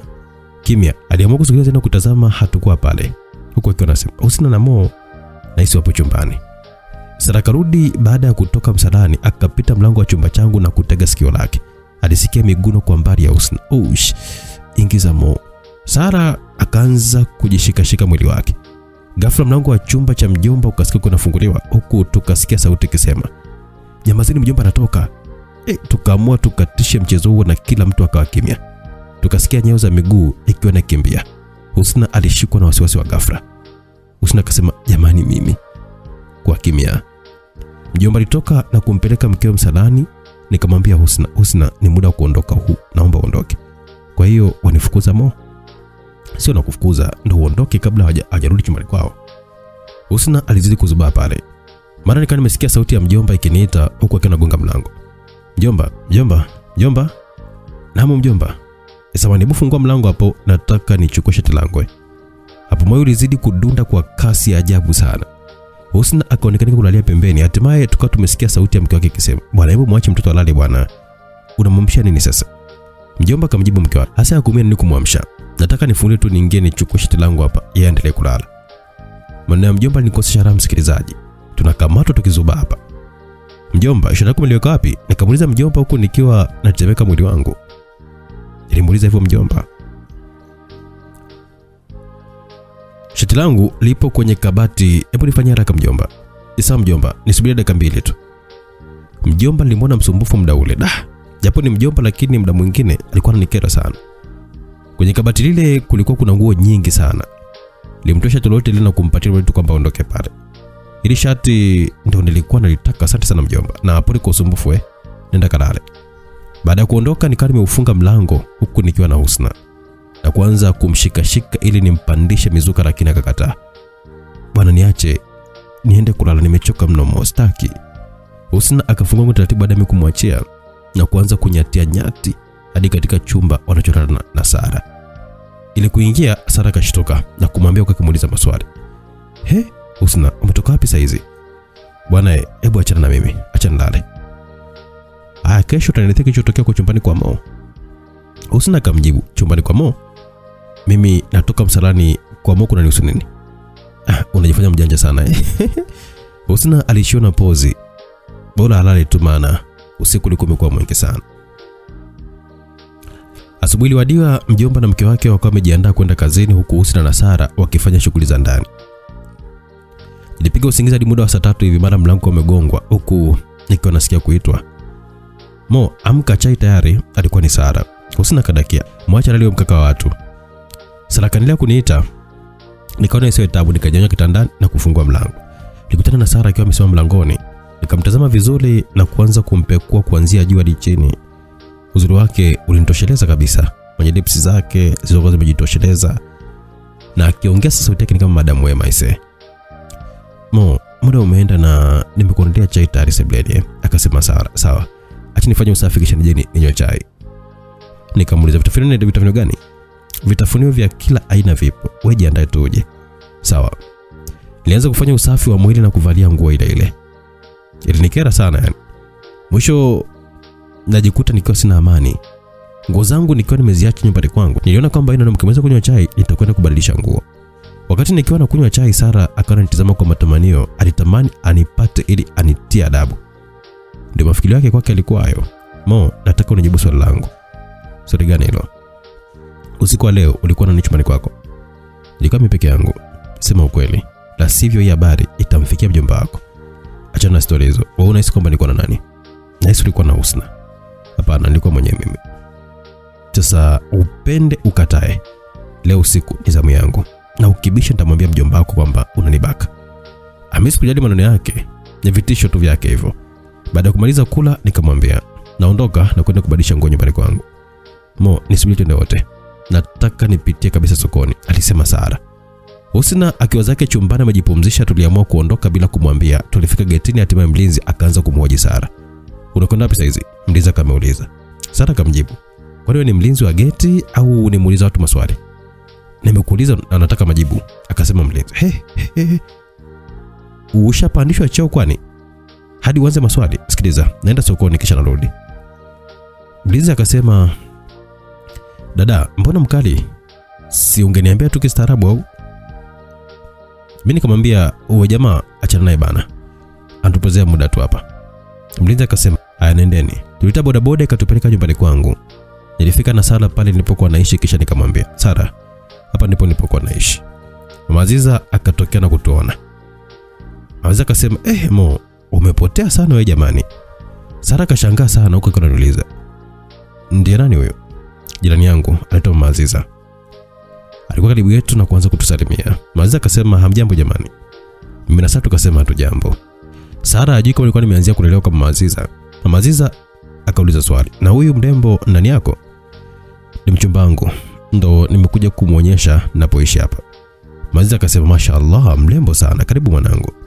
Asante, Sara akasema akiwa amevalia dera lake ambalo lilikuwa limemtoa vyema kabisa, na ule ubonge wake wa wastani ulimfanya onekanike mzuri wa umbo.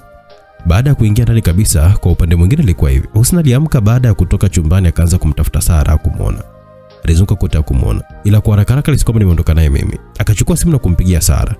Wakati upo chumbani simu ya Sara iliita ikalia kwa mlio wa nyimbo za Kihindi. Sara akapokea. Akasema, "Halo, eh uko wapi?" Husna kauliza. "Nipo sokoni." Mm, we Sara wewe unadanganya. Kweli nitume nikulete nini? Lete chochote kile. Halafu wahi kurudi maana mjomba ndo muda wake huu. Simu ikakata mawasiliano. Mimi nikiwa nataka kubadilisha nguo, nikasema Sara, naomba utoke nje kidogo nibadilishe nguo. Kwani kuna tatizo gani kama kivaa nikiwa hapa? Utakachokiona usiogope. Mm. Sara alitoa mkono. Wa, wow, kubwa hivyo. Sara akasema, "Njoo ishike." Mimi nikamwambia, Sara alikuja haraka haraka na kuanza kuipapasa. Huko akanata maneno yake na mimi sasa nataka unipe. Mm. Kwa upande mwingine mjomba alirudi kutoka kazini baada ya kupaki gari lake akaanza kumuita Sara. Mwisho aliyetoka alikuwa ni Husna. Shikamoo mjomba. Marhaba. Sara yuko wapi? Kaenda sokoni muda tu. Sokoni na vyakula vipo store kule. Labda hakujua. Hakujua kitu gani? Nyie msinichezea akili yangu nyinyi. Husna alishusha sauti na kusema, "Samani mjomba. Hebu mpigie simu." Husna akaanza kumpigia Sara simu ila haikupatikana hewani. Mjomba, Sara hapatikani. Unaona sasa? Na huyu moyo kwapi? Kasema anakwenda kubadili nguo. Mjomba aliamua kuondoka maeneo hayo huku akiwa kimya. Kwa upande wetu sasa, Sara aliishika vizuri kwa mikono yake milaini huku akiigamia kwa hamu. Mzee alianza kutunisha misuli ya hisia na akiongezeka kwa ukubwa. Sara alishika kiufundi kwa akiwa anaongea vijibano vitamu vitamu.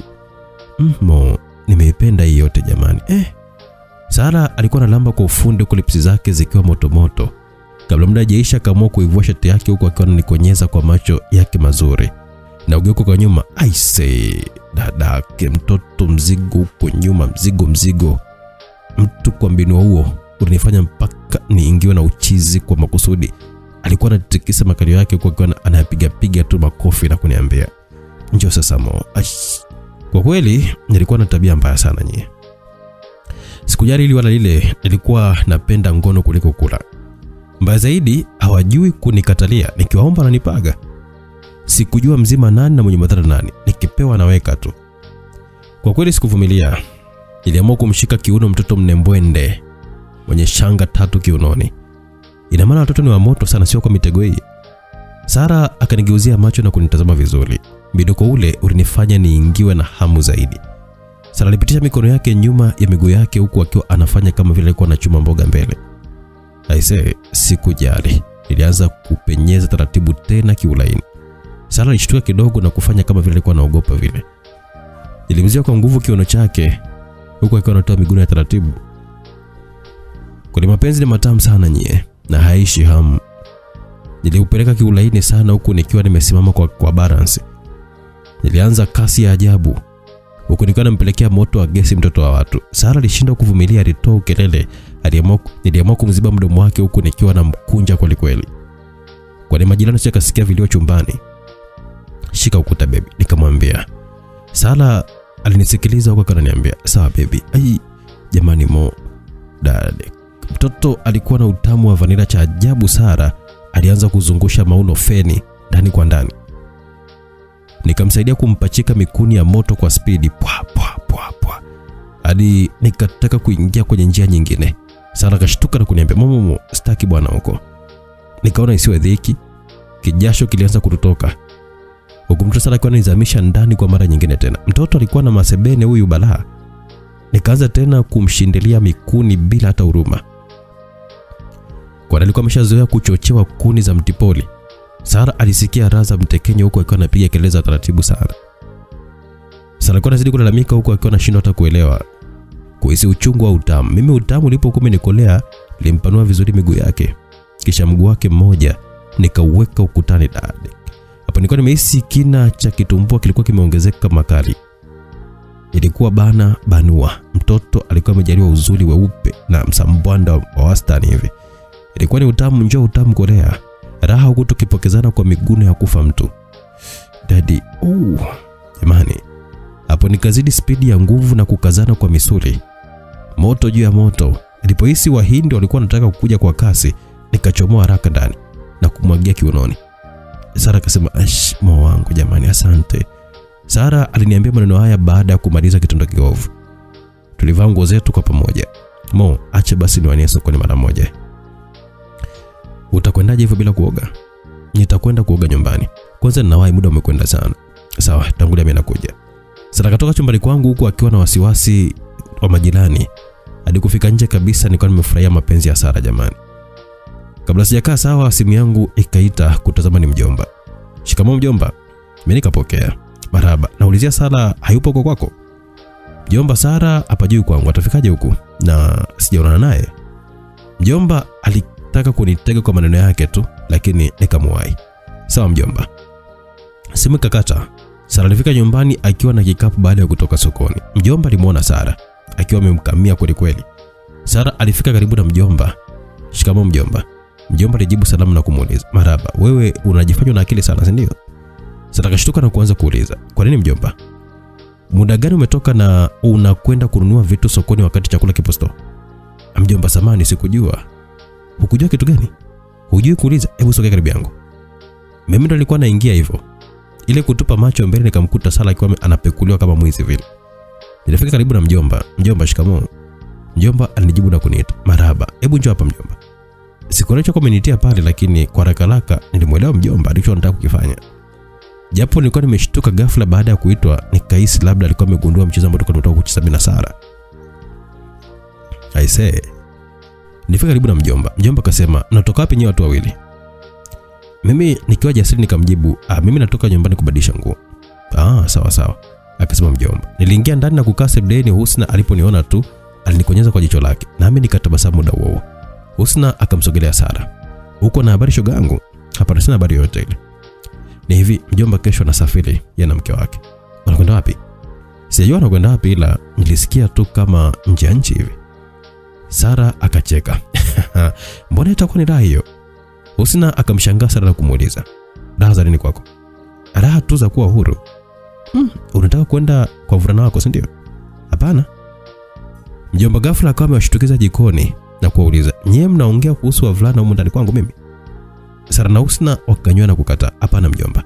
Kwanza acheni hiyo shughuli hapo, alafu mnifuate nyuma."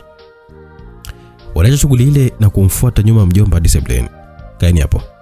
Mimi nikiwa nimeshtuka sana pale ambapo nilikuwa naona kina Husna na mke wa mjomba kuja na kukaa kwenye sofa. Nilishtuka pale ambapo nikajua kwamba hapa kuna msala umetokea. Maana ni sawa na ajali haitabiliki hata kidogo. Mjomba kaongea, "Mimi nimewaita hapa na nataka mnisikilize sana kwa makini." Ndio mjomba, tunakusikiliza. Mjomba kaendelea kuongea. Tunasafiri ndani ya wiki mbili, tunakwenda nje ya nchi na sintowaambia nchi gani. Tutakuwa tukiwasiliana kwa kutumia WhatsApp. Ni hivi, humu ndani kwangu sitaki ukorofi. Sitaki kusikia maneno. Sitaki kuletewa wanaume au wanawake humu ndani. Nitakuja kufukuza watu mniite mbaya. Na wewe mjomba, sitokuruhusu ulale humu. Utakwenda kulala kwako hadi tutakapokuwa tumerudi. Umenielewa? Sisi tukasema ndio tumekuelewa. Kukiwa na tatizo mtanipigia simu, akasema mjomba. Tulimaliza maongezi hayo na kila mmoja akafuata shughuli yake. Usiku uliwadia baada ya kumaliza kula nikawa nimeingia chumbani kwangu kulala. Kwa ghafla message kama imeingia kutazama alikuwa ni Zuberi. Wa ninja inakuaje? Safi bro. Umeamua utukimbie bro au? Au umepata jibamba ambalo linakuweka linakuweka ndani? Mimi nikacheka kwanza kisha nikawa nimemjibu mes kwa message. Hapana bro. Hasa jimama nilipeleke wapi mimi kijana mdogo? Zubeda akasema, wewe hukawi kabisa kwa mama mama na wadada wewe. Acha basi, hauna kula na kusepa tu mwamba, na sio kukaa nao kwenye mahusiano. Nikienda kuchat na Zube, message nyingine kama imeingia kwa namba haikuja na jina. Umelala baby? Da, ilinichanganya. Nikaamua kujibu, bado sijalala. Umesikia mjomba wako alivyosema? Ya, ndio nimesikia. Bro, kimya mbona? Akauliza Zube. Nasinzia kinoma isi hapa acha tu yani. Nika nimemjibu hivyo Zube. Okay poa mwamba. Poa, na mimi nikajibu. Niliachana na Zube nikataka nidili kwanza na hii namba ngeni. Namba ikasema kwamba utaweza kuwahudumia watu wawili kwa wakati mmoja. Swali gani hili jamani? Mbona naanza kunishtua maisha sasa? Nikafanya kama sijaelewa. Sijakuelewa. Na kuuliza unaweza kuhudumia watu wawili kwa wakati mmoja? Namba ikawa imeuliza. Nikiwa nimeshafahamu ni akina Husna hawa. Ndio walikuwa wananichatisha muda huo. Nikaamua kujibu ndio naweza. Sawa, namba ikasema. Baada ya kujibu huku muda ukiwa umezidi kuyoyoma na usiku kuwa mwingi, nikawa nimejikuta nimejiweka katika usingizi mzito, huku njozi tofauti tofauti zikiwa zinanipitia. Nilifanya kushtushwa na mwanga wa jua la asubuhi, huku kwenye bukta mshedede ukiwa umetuna hatari na uchovu wa mwili. Nikawa nimefungua mlango kutoka nje, nikawa nimekuta kimya, huku nikiwa najiuliza maswali, kwani hakuna watu? Nikaenda moja kwa moja hadi bafuni na kuanza kujisafiri mwili wangu. Sikuchukua dakika nyingi mle ndani, nikawa nimetoka na kufika chum, chum, chumba cha jikoni. Nikawa nimegeuza shingo yangu, mara nikutana na Husna na kanga pekee, huku mzigo wote ukiwa umemchora, na mzee akaanza kutikisika kwa majaribu. Nimnyapia nyapia, yeye akiwa anatizama tu mbele bila kujua. Nikawa nimemziba macho na kumwambia Otia ni nani, huku makalio yake yakiwa na mparuza paruza bwana askari katika bukta. Alijua kunena na kutamka, ni Mo wewe? Nikamwambia sawa, ni mimi. Niambie mjomba, ameshaondoka? Usina akajibu kwa anatuliza shobo zake kwa mtu mzima ninja janja. Ndio, wameshaondoka. Sara kawasindikiza huko. Hapo hapo sikuzubai se Nikashika dukani kushoto huku huku akiniambia kwa sauti ya mlegezo na macho yake ikiwa yanapepesa tu kama mwanamchanga. Mm, tabia mbaya hiyo. Nikaendelea kumshikashika kiuno ili kuweza kumpandisha midadi. Tabia mbaya au tabia nzuri? Husna akalegeza sauti. Mbaya. Mm, ache basi bwana, nipike huko Mo. Niliona isiwe dhiki pale. Nikamshika vyema na kumbana kwa mikono na kuanza kumlambalamba shingo yake iliyokuwa nyeupe, huku mikono ikiwa inatembea kwenye mapaja yake manene. Hapo hapo Husna kama ametupa kisu kando na kitunguu chake, na tukashirikiana na kuanza kupeana madenda motomoto. Husna akaanza kutoa miguno yake mahaba pale. Tulizidi kuendelea kukunyana ulimi. Husna alikuwa anazidi kujikunja tu kama mwana aliyekuwa amepigwa na baridi na kutetemeka kwa mguso wa mahaba. Nikalimezidi kutalii sehemu za chuchu zake vilivyokuwa vimesimama kama embe sindano. Husna akalalamika kwa sauti ya chini chini. Oh. Naambia unataka nini jamani? Husna aliniambia maneno hayo huku mshawasha ukiwa unazidi kunipanda kwa hamu zote yani. Nikamjibu katika sikio lake. Kwani hujui jamani kinachofuatia Husna? Acha mambo yako bana. Basi polepole jamani. Oh. Sikuona uvivu pale. Nilijituma kama mwanaharakati. Nikaipandisha kanga yake kwa mapaja mazima meupe na makalio jinsi yalivyokuwa ya mviringo. Nikaanza kuyanyonya kwa ufundi. Husna alikuwa anatoa milio ya mahaba kwa akisema, wewe moyo una maajabu jamani. Nahisi anatekenywa na lips pamoja na pua. Ulikuwa unamgusa gusa. Husna alizidi kunipanulia tu makalio yake. Basi mtoto wa kiume nikawa nimeanza maufundi yangu pale ya uninja. Maana huyo mtoto sio kuzubaishwa hapa. Maana mtoto tunaweza kufumaniwa hapa. Nilikuwa nakwenda kwa masana akili. Kwa haraka haraka Husna alionekanika kuwa ni mtamu zaidi ya siku nyingine. Niliingiwa na ushetani wa maabara nakwambia. Ni yangu ilikuwa ni kumkuna tu hadi akome yeye tu. Maana sio kwa midadi ile ambayo ilikuwa upya. Husna alianza kupandisha kanga kwa juu kisha akamefanya amefanya kama alikuwa anachuma mboga hivi kule shambani. Dada. Nilipagawa ile mbaya. Maana mzigo ulikuwa umetradadi ile mbaya. Hebu kijana wa kiume vuta picha unapanuliwa zigo la kuvunja chaga alafu ile hatari anakuacha hivyo hivyo anaondoka. I say. Utalia hapo. Tuendelee na stori yetu. Mkudo ulizidi kulindima kwa mapigo ya fasta fasta, ikamparamia Husna na kuiweka ile kiupi yake kwa upenyo, yani pembeni, ikabaki kitumbua tu nikitafune. Nikashusha boksa yangu chini ya mapaja na ili nataka tu kuzamisha. Husna alishtuka kidogo na kusema, "Mautaratibu mwenzio, fanya fasta fasta basi." eh." Nilizamisha ukuni wa maana, pia uliteleza ise. Husna akaashiria kwa mguno huku akiwa ananitazama kwa nyuma. Sikujali. Nilianza kazi ya slow kupampu vitu ndani kwa ndani. Staili ya mchumia juani, Husna hakuwa akitulia pale. Alikuwa akilia kwa vilio tu huku nikiwa nampiga miti kisawasawa. Sikujali vilio vyake mimi. Jamani Mo. Nilimshika kiuno chake alivyokuwa amekivalisha shanga. Nikazidi kumtembezea fimbo ya kumua nyoka tena ya karibu. Mtoto wa watu aliacha vilio huku nikiwa nampampia kwa spidi hali ya juu sana, huku makalio yake laini yakiwa anapiga piga kwenye mapaja yangu. Pwa, pwa, pwa. Nilikuwa na nguvu za kumpatia utamu Husna. Wakati tupo kwenye misheni hiyo ya mahaba, mlinzi akiwa getini anatembea tembea na kuamua kupitia kwa nyuma huku akisikia vilio vya mahaba kule ndani. Mlinzi hakuelewa kinachoendelea mle ndani, akaamua kunyatia nyatia, ila ghafla nilishtuka huku mshedede wangu nikiwa na uona ukiwa umenyoa ghafla, alafu mbaya zaidi hamu yote ikaniisha. Niligundua, nikamwambia Husna taratibu, Husna, tuachie hapa, kuna kitu hakipo sawa. Husna alishaka kake na kuniuliza, kitu gani sasa? Umenipandisha gija hapa alafu kesho unaniacha hivyo, si ndio? Akili yangu ikaniambia kwamba niondoke hapa mara moja, na mimi sikuzubani, kani nimechoboka hapo. Mlinzi alifika dirishani akachungulia, akamkuta Husna peke yake. Kulikuwa kuna nini ndani? Mlinzi akamuuliza. Husna kwa hasira kajibu, unataka kujua kuna nini? eh?" Ndio, nasikia watu wakiwa wanalialia tu huko ndani. Husna akamjibu kwa kana mtizama mlinzi nje dirishani. He, acha umbe mtoto wa kiume, utoke huko uje kuchungulia watu huko ndani, si ndio? Mlinzi akazidi kuongea. Mimi nipo kazini na stahili kujua kilicho kinaendelea huko ndani. Wewe ni mlinzi tu wa getini. Haya ya ndani ya kuhusu upo eh? Na ufuate nje tena. Au wataka umwage unga, si ndio? Mlinzi kusikia maneno aliondoka huku akisema basi aishe. Ghafla geti likawa limegongwa, alikuwa ni Sara ndio alikuwa anaingia hivyo. Mlinzi alikimbilia getini kufungua mlango, mimi nami ndio nikajitoa mjengoni. Unakwenda wapi mo? Sara kama ameuliza. Nakwenda kwangu sasa. Jamani, mbona mapema? Usijali, nitakuja tu muda sio mrefu. Sawa. Mlinzi akanifungulia geti, nikawa nimetoka na kuelekea zangu nyumbani. Ilifika usiku nikiwa nimelala kwangu muda wa saa nane hivi. Ghafla nikahisi baridi kali kana niingia mwilini, huku nikiwa natetemeka na mwili kuwa moto. Kisha mbaya zaidi, nilikuwa nahisi maumivu makali sana kwenye sehemu zangu za siri. Sikulala, nikawa nimeshinda nateseka tu pale. Nikasema namwamsha mama Aziza hapa, ila itakuwa sio poa na mume wake yule, sitaki kumsumbua. Asubuhi ilifika sasa, ndipo maumivu yakawa nazidi kuwa makali, yaani ilikuwa imeongezeka maradufu. Sikupata picha ise, kujitizama kwenye mshedede wangu nikaa nimeona vitu vitu vikiwa vinaanza kujitokeza. Lo, huu ni msumeno nini? Mwasho nao kwa umezidi kuniandama katika uume. Nikawaza msemo usemao mficha ugonjwa wa kifo umumbua. Nikanyuka chap, nikafanya usafi haraka haraka wa mwili. Sikuwa na muda huo, nikaamua kuvalia nguo zangu, kisha nikaa nimeelekea hospitali ili kuweza kujua nini tatizo, huku nafsi yangu ikiwa inanisuta sana. Nilifika hospitalini nikaa nimekutana na daktari wa kiume baada ya kukaa. Kijana, njoo ndani, akisema daktari. Niliingia ndani ili kuweza kumweleza kichwa kilikuwa kinanitesa na kunikosesha raha ya maisha.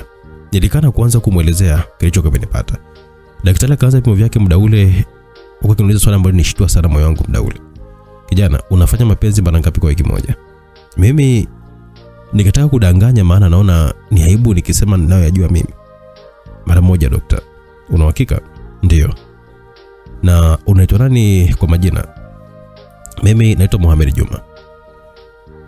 Daktari aliandika jina langu kisha akasema, vipimo vyako mo vinasema kwamba ume wako unaweza kutafunwa na bakteria wabaya na umefanya vizuri kuja mapema, la sivyo ungeisha ume wako na kufariki dunia. Utatakiwa ulazwe kwa wiki mbili wodi namba tatu, huku ukipewa dozi ya kuua bakteria wanaoanza kukutafuna. Ugonjwa wenyewe ni gonolea, na nakushauri kijana, chunga maisha yako, achana na ngono za kiorela, itakupeleka kuzimu kicheza. Achana na mama wakubwa wakubwa eh. La mwisho, mpigie simu mtu wako mmoja. Mimi nikasema nitakupa namba ya mjomba wangu uongee na yeye. Nikampatia namba ya mjomba na kuanza kuwasiliana kwenye simu. Daktari akarudi. Mjomba wako uh, tumeshaongea naye, amesema kwamba atasimamia kila kitu. Hatimaye akawa ameingia nesi wa kike mrembo sana. Alikuwa amevalia sketi ambayo ilikuwa imemtoa mapaja yake meupe kweli kweli. Yaani moyo ulinidunda ghafla pale ese. Daktari akasema, ah, afadhali umekuja. Mchukue kijana umpeleke kwenye chumba nambari eh." Nesa akaitika kwa anapanga vizuri mafaili yake. Sawa dokta. Twende kijana. Nikali nimeongozana naye huku watu walikuwa wamekaa kinamtazama huyo nesi alivyokuwa anatembea. Tulifika na kuanza kuingia nami nikali nimefuata. Nesi akitamka kwa sauti nyepesi isiyokuwa na mikwaruzo kuonea akasema, hapa ndipo utakapoona ulikuwa unapewa dozi eh? Mimi nikajibu sawa madam. Nesi nilimwona bado mtoto wa langu kabisa vile. Yaani naugua lakini si hazipungui aisee, hii hatari sana hii. Nilivyoacha kuna sura nimebaki na boxer tu pekee. Mara hatimaye simu ikawa imepigwa kutazama alikuwa ni Husna. Nikapokea hello. Mo mambo? Mambo yangu sio mambo aisee. Naumwa kinoma niko hospitali nalazwa hapa. Husna alishtuka ghafla. Nini tatizo sasa? Ukitaka kujua zaidi njoo hospitali ya afya bora hapa wodi namba tatu. Jamani Mo, nakuja sasa hivi. eh? Simu ikakatwa pale. Baada ya kumaliza, nesi alikuja na sindano na vidonge kama vyote yani. Nikamuuliza kimakusudi, hivi madam, una imani na mimi kweli wewe? Nesa kauliza, kwa nini siwe na imani na wewe boy? Pale pale nikaa nimeanza kuleta utani, sikujua kama nipo hospitali na sijui kama nilikuwa naugua. Yaani kuna muda najisahau kabisa nikamjibu. Kwa sababu unataka kuniua kabisa yani. Nesi akaseti sindano. Mimi nikamwambia sindano hiyo usiniwekee kwa makalio, isiniwekee kwa bega tafadhali. Wewe kijana, mbona upo na visa hivyo wewe? Sawa, nitafanya vile utakavyo. Nesi akanisogelea karibu zaidi na kunichoma sindano ya bega. Kisha kanipa dawa na maelezo ya kutumia. Madam, hebu unaitwa nani lakini? Maana sindano yako sikuisikia uchungu kabisa, isinilisi kama vile sukari eti. Nesi alicheka taratibu kwa kananiambia, naitwa Precious. Ah, jina tu linafanana kabisa nawe mwenyewe. Asante. Nesa katoka katika kile chumba, hatimaye Husna kama ameingia. Mo wangu jamani, pole. Asante, nikaa nimemjibu. Tatizo nini Mo? Ah, hizi tenda tenda hizi sio poa aise. Zinataka kuniharibia kabisa mambo yangu aise. Hasa unacheka nini sasa? Ah, bora kucheka tu kwa maana najua Mungu yupo ataniponesha tu. Kweli mtegemee Mungu, tuache jamani eh. Ghafla dokta kama ameingia. Habari yako kijana? Safi. Dokta kauliza, "Huyu nani yako?" Mimi kwa haraka nikajibu, "Huyu dada yangu." Basi naomba aje ofisini mara moja. Dokta kusema yule akatoka nje. Nikamwambia Husna, "Kwa makini huko, acha ujinga." Husna kaonyesha tabasamu na kutoka zake. Mimi nikaa niko peke yangu nikaa nimejituliza huku nikiwa nawaza, yani nikae siku tatu kwenye chumba ise sitorudia tena mambo. Kwa upande mwingine, Husna alipofika ofisini kwa dokta, dokta akiwa peke yake huko akanamkaribisha. Ingia tu ndani mrembo. Husna akajibu kwa kanaka. Asante. Dokta aliongea kwa ujasiri sana. Samani kwa kuita hapa na kweli mtu haitiki wito, anaitikia aitwalo. Husna akasema kweli dokta. Cha kwanza nimekuita hapa msisa na kaka yako na ngono za kiolela, Atumia hata kinga kwani itakuja kumpeleka pabaya sana. Sawa dokta, nimekuelewa. Ila sa, ila samani tunaweza kubadilishana hata namba hapa kama utojali kwa maana haujui baadaye itakuwaje. Husina kwa kuwa alikuwa anajua ni dokta, watakuwa wanawasiliana kwa sababu ya mgonjwa. Husina na dokta walibadilishana namba. Asante sana, akasema dokta. Husina akajibu kwa ananyanyuka kwenye kiti. Na wewe pia asante. Husina alikuja kwangu na kukaa na mimi huko tunapiga stori nyingi tu. Ilifika jioni, jua lilikuwa linaelekea kuzama. Uzuri Husina kaniletea na chakula kabisa. Husina akaniaga na kuniambia kesho inshallah nitakuja. Inshallah. Ilifika ndani ya saa mbili usiku, hakika sikuwa nimezoea kulala hospitali. Yaani shida tupu. Kitanda chokuwa nimelalia, hujui amelalia watu wangapi, hujui nani kafa na nani ambaye kawa mzima.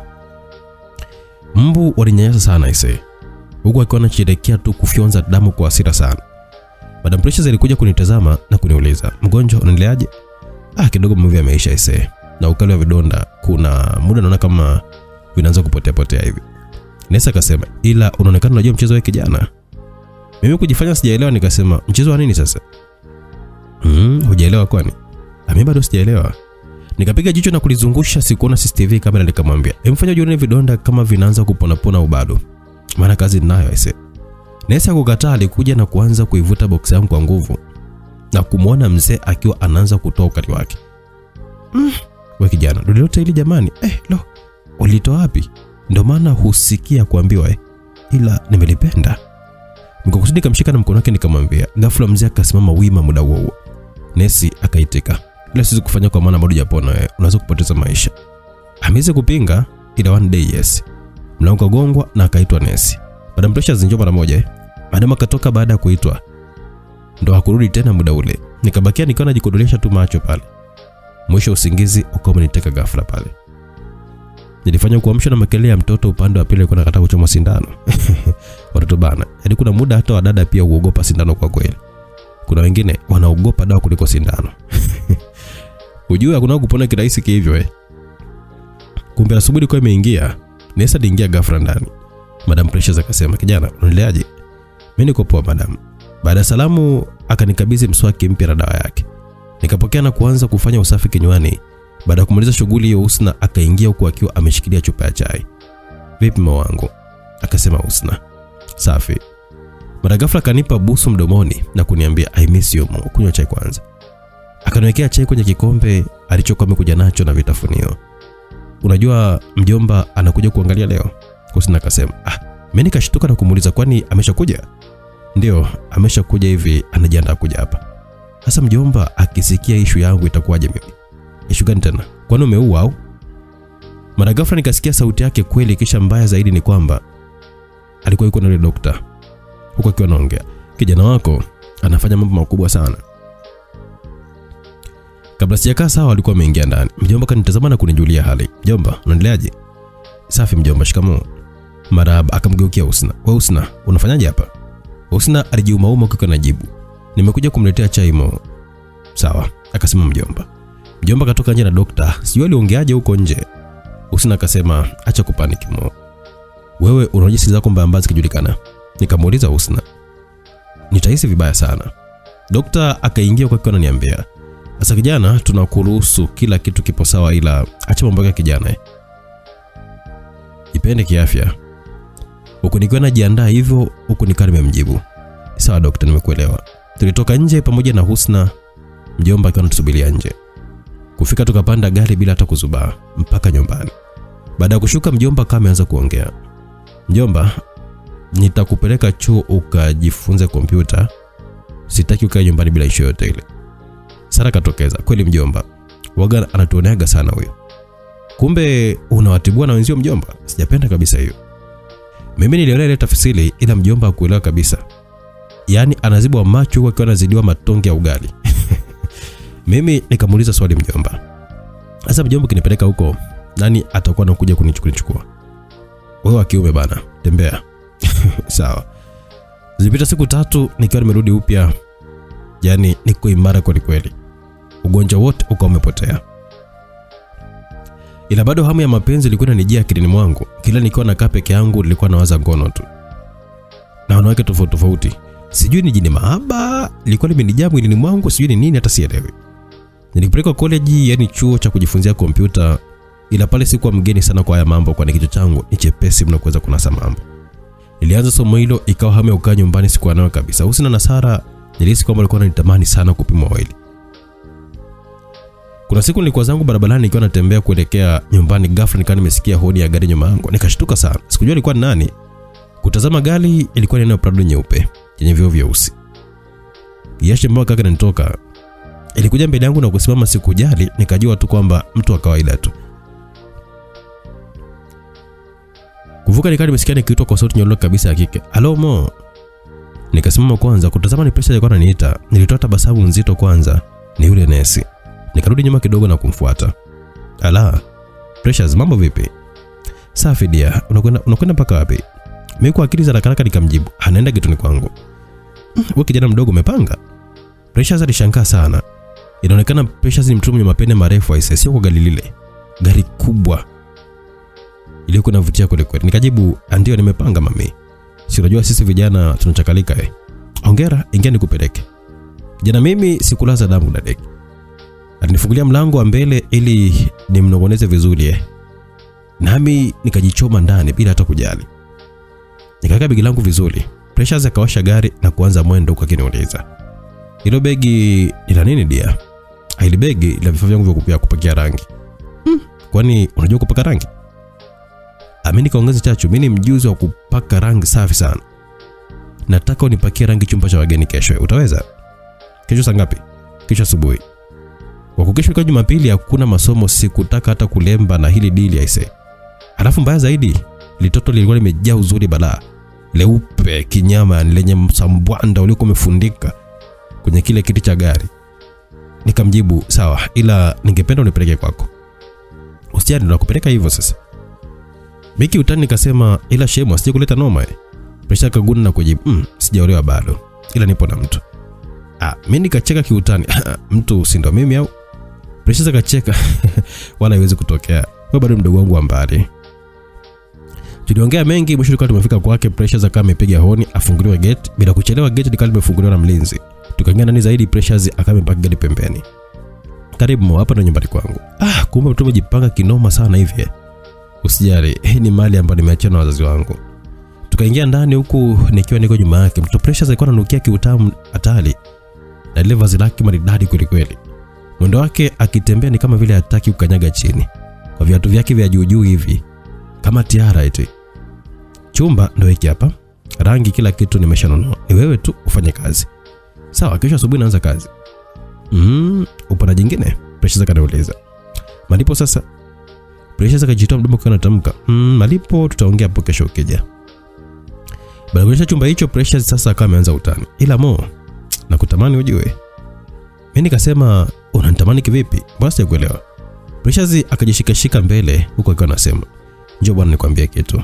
Nikamsogelea karibu yake na kunishika bega huko akiniambia, "Kesho nataka uje mapema sana saa mbili asubuhi uwepo hapa." eh."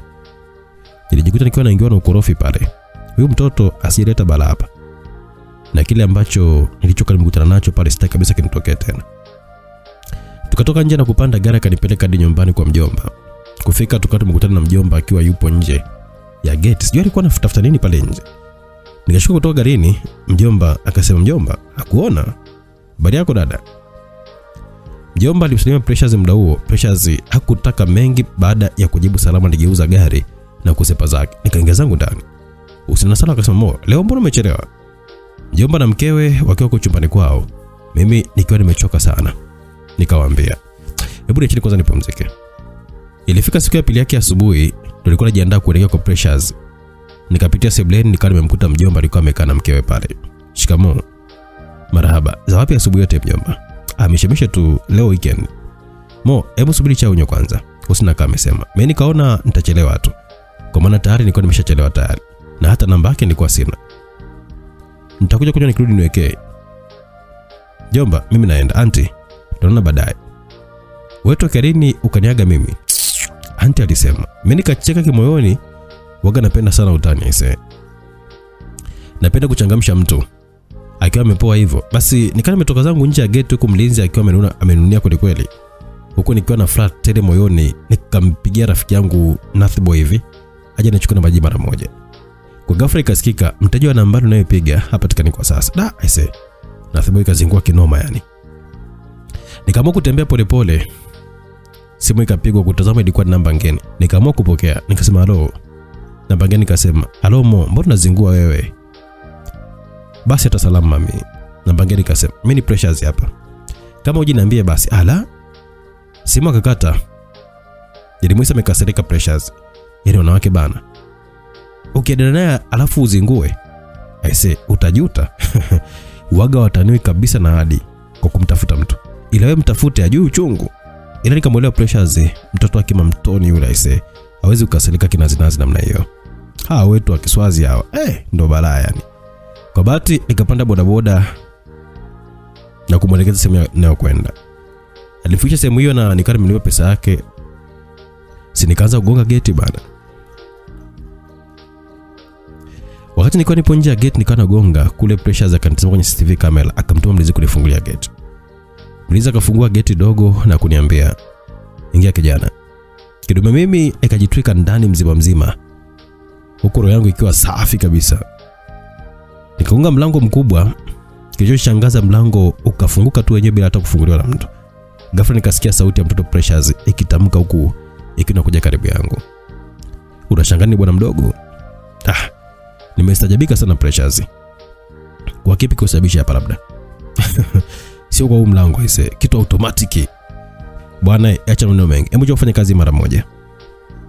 Nikamfuata nyuma hadi kwenye kile chumba, nikaona furu marangi na brashi za kupakia rangi. Kweli kazi ipo. Ila njani nikaba tumbo nikale mama kumwambia tu. Darling, unajua hii kazi bila kula ipandie. Ah, kumbe ujala. Haya nifuate. Nikali nimemfuata nyuma, huyu mtoto ni balaa ise. Nilipendezwa na ule mwendo wake wa madaha. Akitembea ni kama vile alikuwa ananyatia nyatia hivi. Precious alikuwa amejaliwa na umbo la wastani huku akiwa amezichana nywele zake nyingi sana. Kumbe manesi wanavyokuwaga wazuri kule, hata nyumbani pia kwa na wazuri vile vile. Nilimchora kila kitu chake kuanzia chini hadi juu, kwani macho yanaga pazia eti, na shingo yake ilikuwa ni kama upango uliokuwa umekolezewa makali, nikimaanisha shingo yake ilikuwa inametameta kwa mkufu ambao alikuwa ameuvaa shingoni. Ngozi yake ilikuwa imejaa ulaini wa kung'ara, utazani kwamba alikuwa amepakwa mafuta ya, ya, ya mizeituni. Mzee, hebu vuta picha kama hii ndo huko ndani ya mgeto wa Madam Precious. Lazima udenda ukushuke tu na hisia zikuchizishe kichizi. Hebu tuendelea stori yetu bwana. Tukafika sebleni, hatimaye akamwita mfanyakazi wake kwa jina upande wa jikoni. Zuena, Precious akamwita. Abe, chakula kipo tayari? Madam Precious akauliza Zuena kama mjibu. Ndio kipo tayari. Mlete chakula mgeni wangu hapa sebleni. eh?" Sawa mami. Nilikaa baada ya kunawa mikono kwenye sinki pale kama nimesubiria chakula Precious akawa ameondoka kidogo maeneo hayo. Zuena alijitokeza kwa kitabasamu na akiwa amebeba poti kubwa la chakula na kuliweka mezani na kuniambia. Zoana akasema karibu mgeni. Asante, ila mimi sio mgeni bana. Zoana ageuka kwenda kuchukua vinginevyo, mtoto Zoena alipagawisha pale pale. Msikilizaji, kwanza huyu jamaa wa kuitwa ninja janja, hivi mmemwelewa? Lakini akimtaja tu mwanamke jina kwenye simulizi lazima apite naye. Kwa hiyo hapa kuna kipolo ambacho kipo, kuna huyu bibi wa kuitwa Precious, alafu kuna huyu Zoena kaongezeka kwenye story, lazima aliwe umndani. Mtoto Zoena anasema kwamba alinipagawisha pale alipokuwa anatikisa makalio yake kwa mtetemo. Da, se sijui ni sifa au ni vipi, ila sema tu kwamba hajajaliwa sura nzuri. Uzuri amejaliwa msambando ambao akitembea ni sawa na mapigo ya moyo wako. Kijana, acha kuwaza sana, ila Zuena ni msichana mwingine hatari sana. Lile zigo na weupe ndio umemchangia pakubwa mno. Zuena alikuja tena kwa mara nyingine na kuweka chupa ya chai kwenye meza. Alianza kunipakulia vitafunio na chai ya maziwa. Zuena hakuisha kuniangalia mara kwa mara. Sekunde tano au dakika tano naweza kutamka hivyo. Yaani nilikuwa ni genius wa kuweza kuwajulia sana wa viumbe wa kike. Nikigusa ndo hapo hapo, yani ulimbo unanasa kitambo sana ushanasa. Mimi nilianza kumtania Zoena huku nikiwa nabugia vitafunio. Zoena, ni wewe umepika vitafunio? Zoena akasema ndio mimi. Ah, basi nitaka kuweka karibu ili nizidi kusikia utamu wa vitafunio vyako. Zuena alinitazama kwa akiwa anaogopa. Mm, bosi atakuja kunigombeza. Hawezi kugombeza. Mimi nitakutetea. Mm, kweli. Kweli. Alafu Zuena, wewe ni msichana mrembo sana. Huna budi ukataa ulichopewa na Mungu kama zawadi. Ah, waniongopea. Alafu mimi sikufahamu jina lako ujue. Akasema Zuena. Zuena aliingiwa na hamu ya kuongea na mimi. Wakati mimi siku zote waga sipendi kufumba mdomo wa mtoto wa kike. Lazima mtu aongee. Unajua ndugu yangu, acha nikufundishe kitu. Pendelea kuongea na kitu tofauti tofauti ili uweze kujua tensheni zao. Utateka hisia zao na utapata nafasi ya wewe kuweza kuwajua kilicho katika mioyo yao na maono yao pia. Wanawake hupenda sana visa, mikasa mbalimbali na matukio ya kuweza kuelimisha ambayo yanakuwa nasimuliwa. Hebu tuendelee msikilizaji. Zuena, wewe upo na akili kubwa sana. Kwa nini? Kwa sababu umeteka kila jambo langu mimi. Umeteka kila ambacho ninachotaka kukizungumza hapa. Ukataka jina langu. Mimi naitwa Ninja Janja. Ndo linamaanisha nini hilo? Bisi kutaka kumwelezea sana, nikamjibu linamaanisha mtu mpenda amani. Unanidanganya eh? Linamaanisha mtu mwenye mafikirio ya mbele, yani genius. Zoena akasema hapo nimekupata. Wakati tunaendelea kupiga stori, Madam Precious kama ameingia. Eh, Zoena, unafanyaje hapo? Kabla Zoena hajajibu mimi nikaa nimedakia. Ananitazama mimi nikiwa nakula hapa. Zoena, embo achana naye huyu. Nenda kafuate kazi zako jikoni. Zoena alikunyesha kwa jicho huku akiwa anaondoka na vyombo alivyokuwa shughuli ya kula. Sawa madam, akasema Zoena. Na wewe nenda kaanze kazi. Mimi nikanyuka pale na kuingia katika kile chumba ili nianze kazi ndio nimepewa. Mwanaume mwenye malengo waga bagui kazi. Kazi ni kazi. Ndio mzee wetu alikuwa anakuambia hapa kazi tu. Nilipiga ile kazi kwa masaa kadhaa mpaka kumaliza, nikawa niko hoi nimechoka. Nilitoka katika chumba hicho baada ya kumaliza kazi ambayo nilikuwa nikiifanya na kuelekea sebleni, nikamkuta Zoena akiwa amekaa anatazama TV. Zoena, nimeshamaliza nitie madam. Madam amesema umsubiri ametoka kidogo. Unaniruhusu nije nikae hapo? Ndio, nakuruhusu ila ukae mbali na mimi. Mimi nikawa najiandaa kukaa na kumuuliza, kwa nini useme hivyo? Unamaanisha nini? Naogopa kwa karibu na mwanaume kama wewe. Sasa mimi nimefanyaje? Ndani kulikuwa na CCTV ikiwa inatuangalia tu. Yaani ilikuwa ni shida tupu kwangu.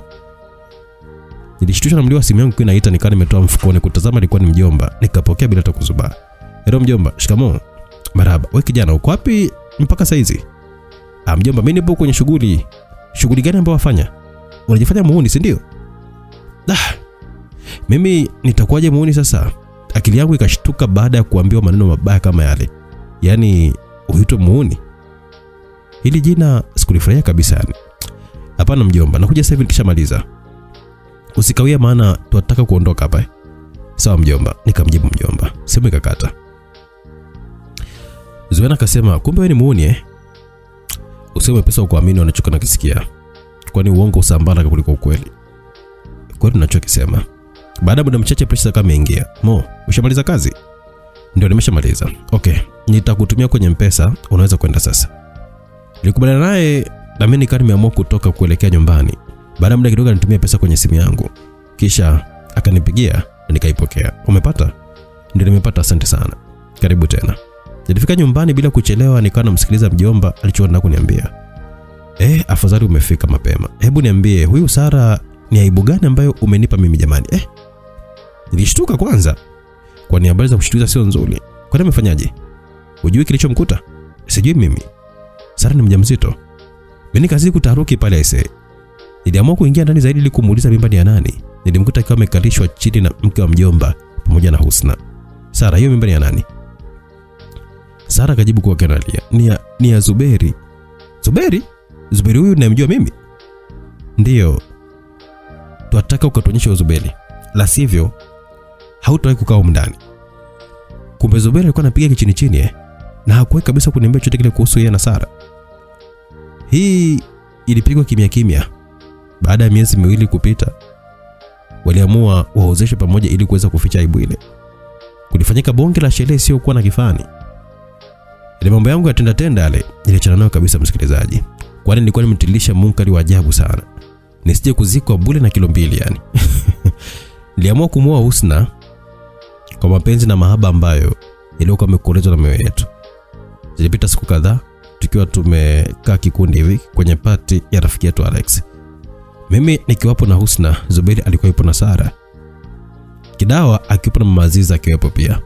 Zuena, Precious walikuwepo pia. Nikatupia jicho pembeni nikawa nimekutana na mtu mzima Nath Boy akiwa amekaa na mtoto mzuri. Akiwa ametulia tu. Yaani ilikuwa ni pati ya simulizi nzima eti. Hakuna aliyekosekana. Hata mjomba pia alikuwa amehudhuria na mke wake. ilikuwa ni pati ya kufa mtu, yani big party. Kabla tujakaa vizuri, mtoto Zainabu akajitokeza akiwa na uzuri wake ule ule uliokuwa umewafanya watu wamtizame mara mbili mbili, huku akionyesha tabasamu lake nzito sana. Kisha pembeni alikuwa na zibandi wake. Yaani kila mmoja na wake hapo kwenye sherehe. Zainabu akatusalimia kwa mbali na kuniita.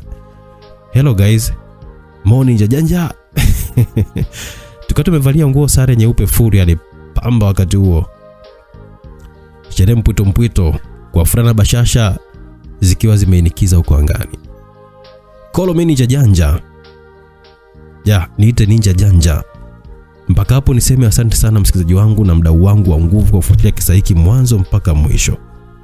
Nitaendelea kuleta hadithi mbalimbali na simulizi nilizokuwa nimeziandaa. Nikumbushe tu mtunzi wa simulizi ni Mo J. Director Weni ndo ambaye nakusimulia kutoka hapa Simulizi Max. Hakikisha umesubscribe YouTube channel Simulizi by Simulizi Max kuendelea kupata burudani ya simulizi nyingi tamu kutoka hapa Simulizi Max. Tukutane katika simulizi nyingine ijayo. Bye bye.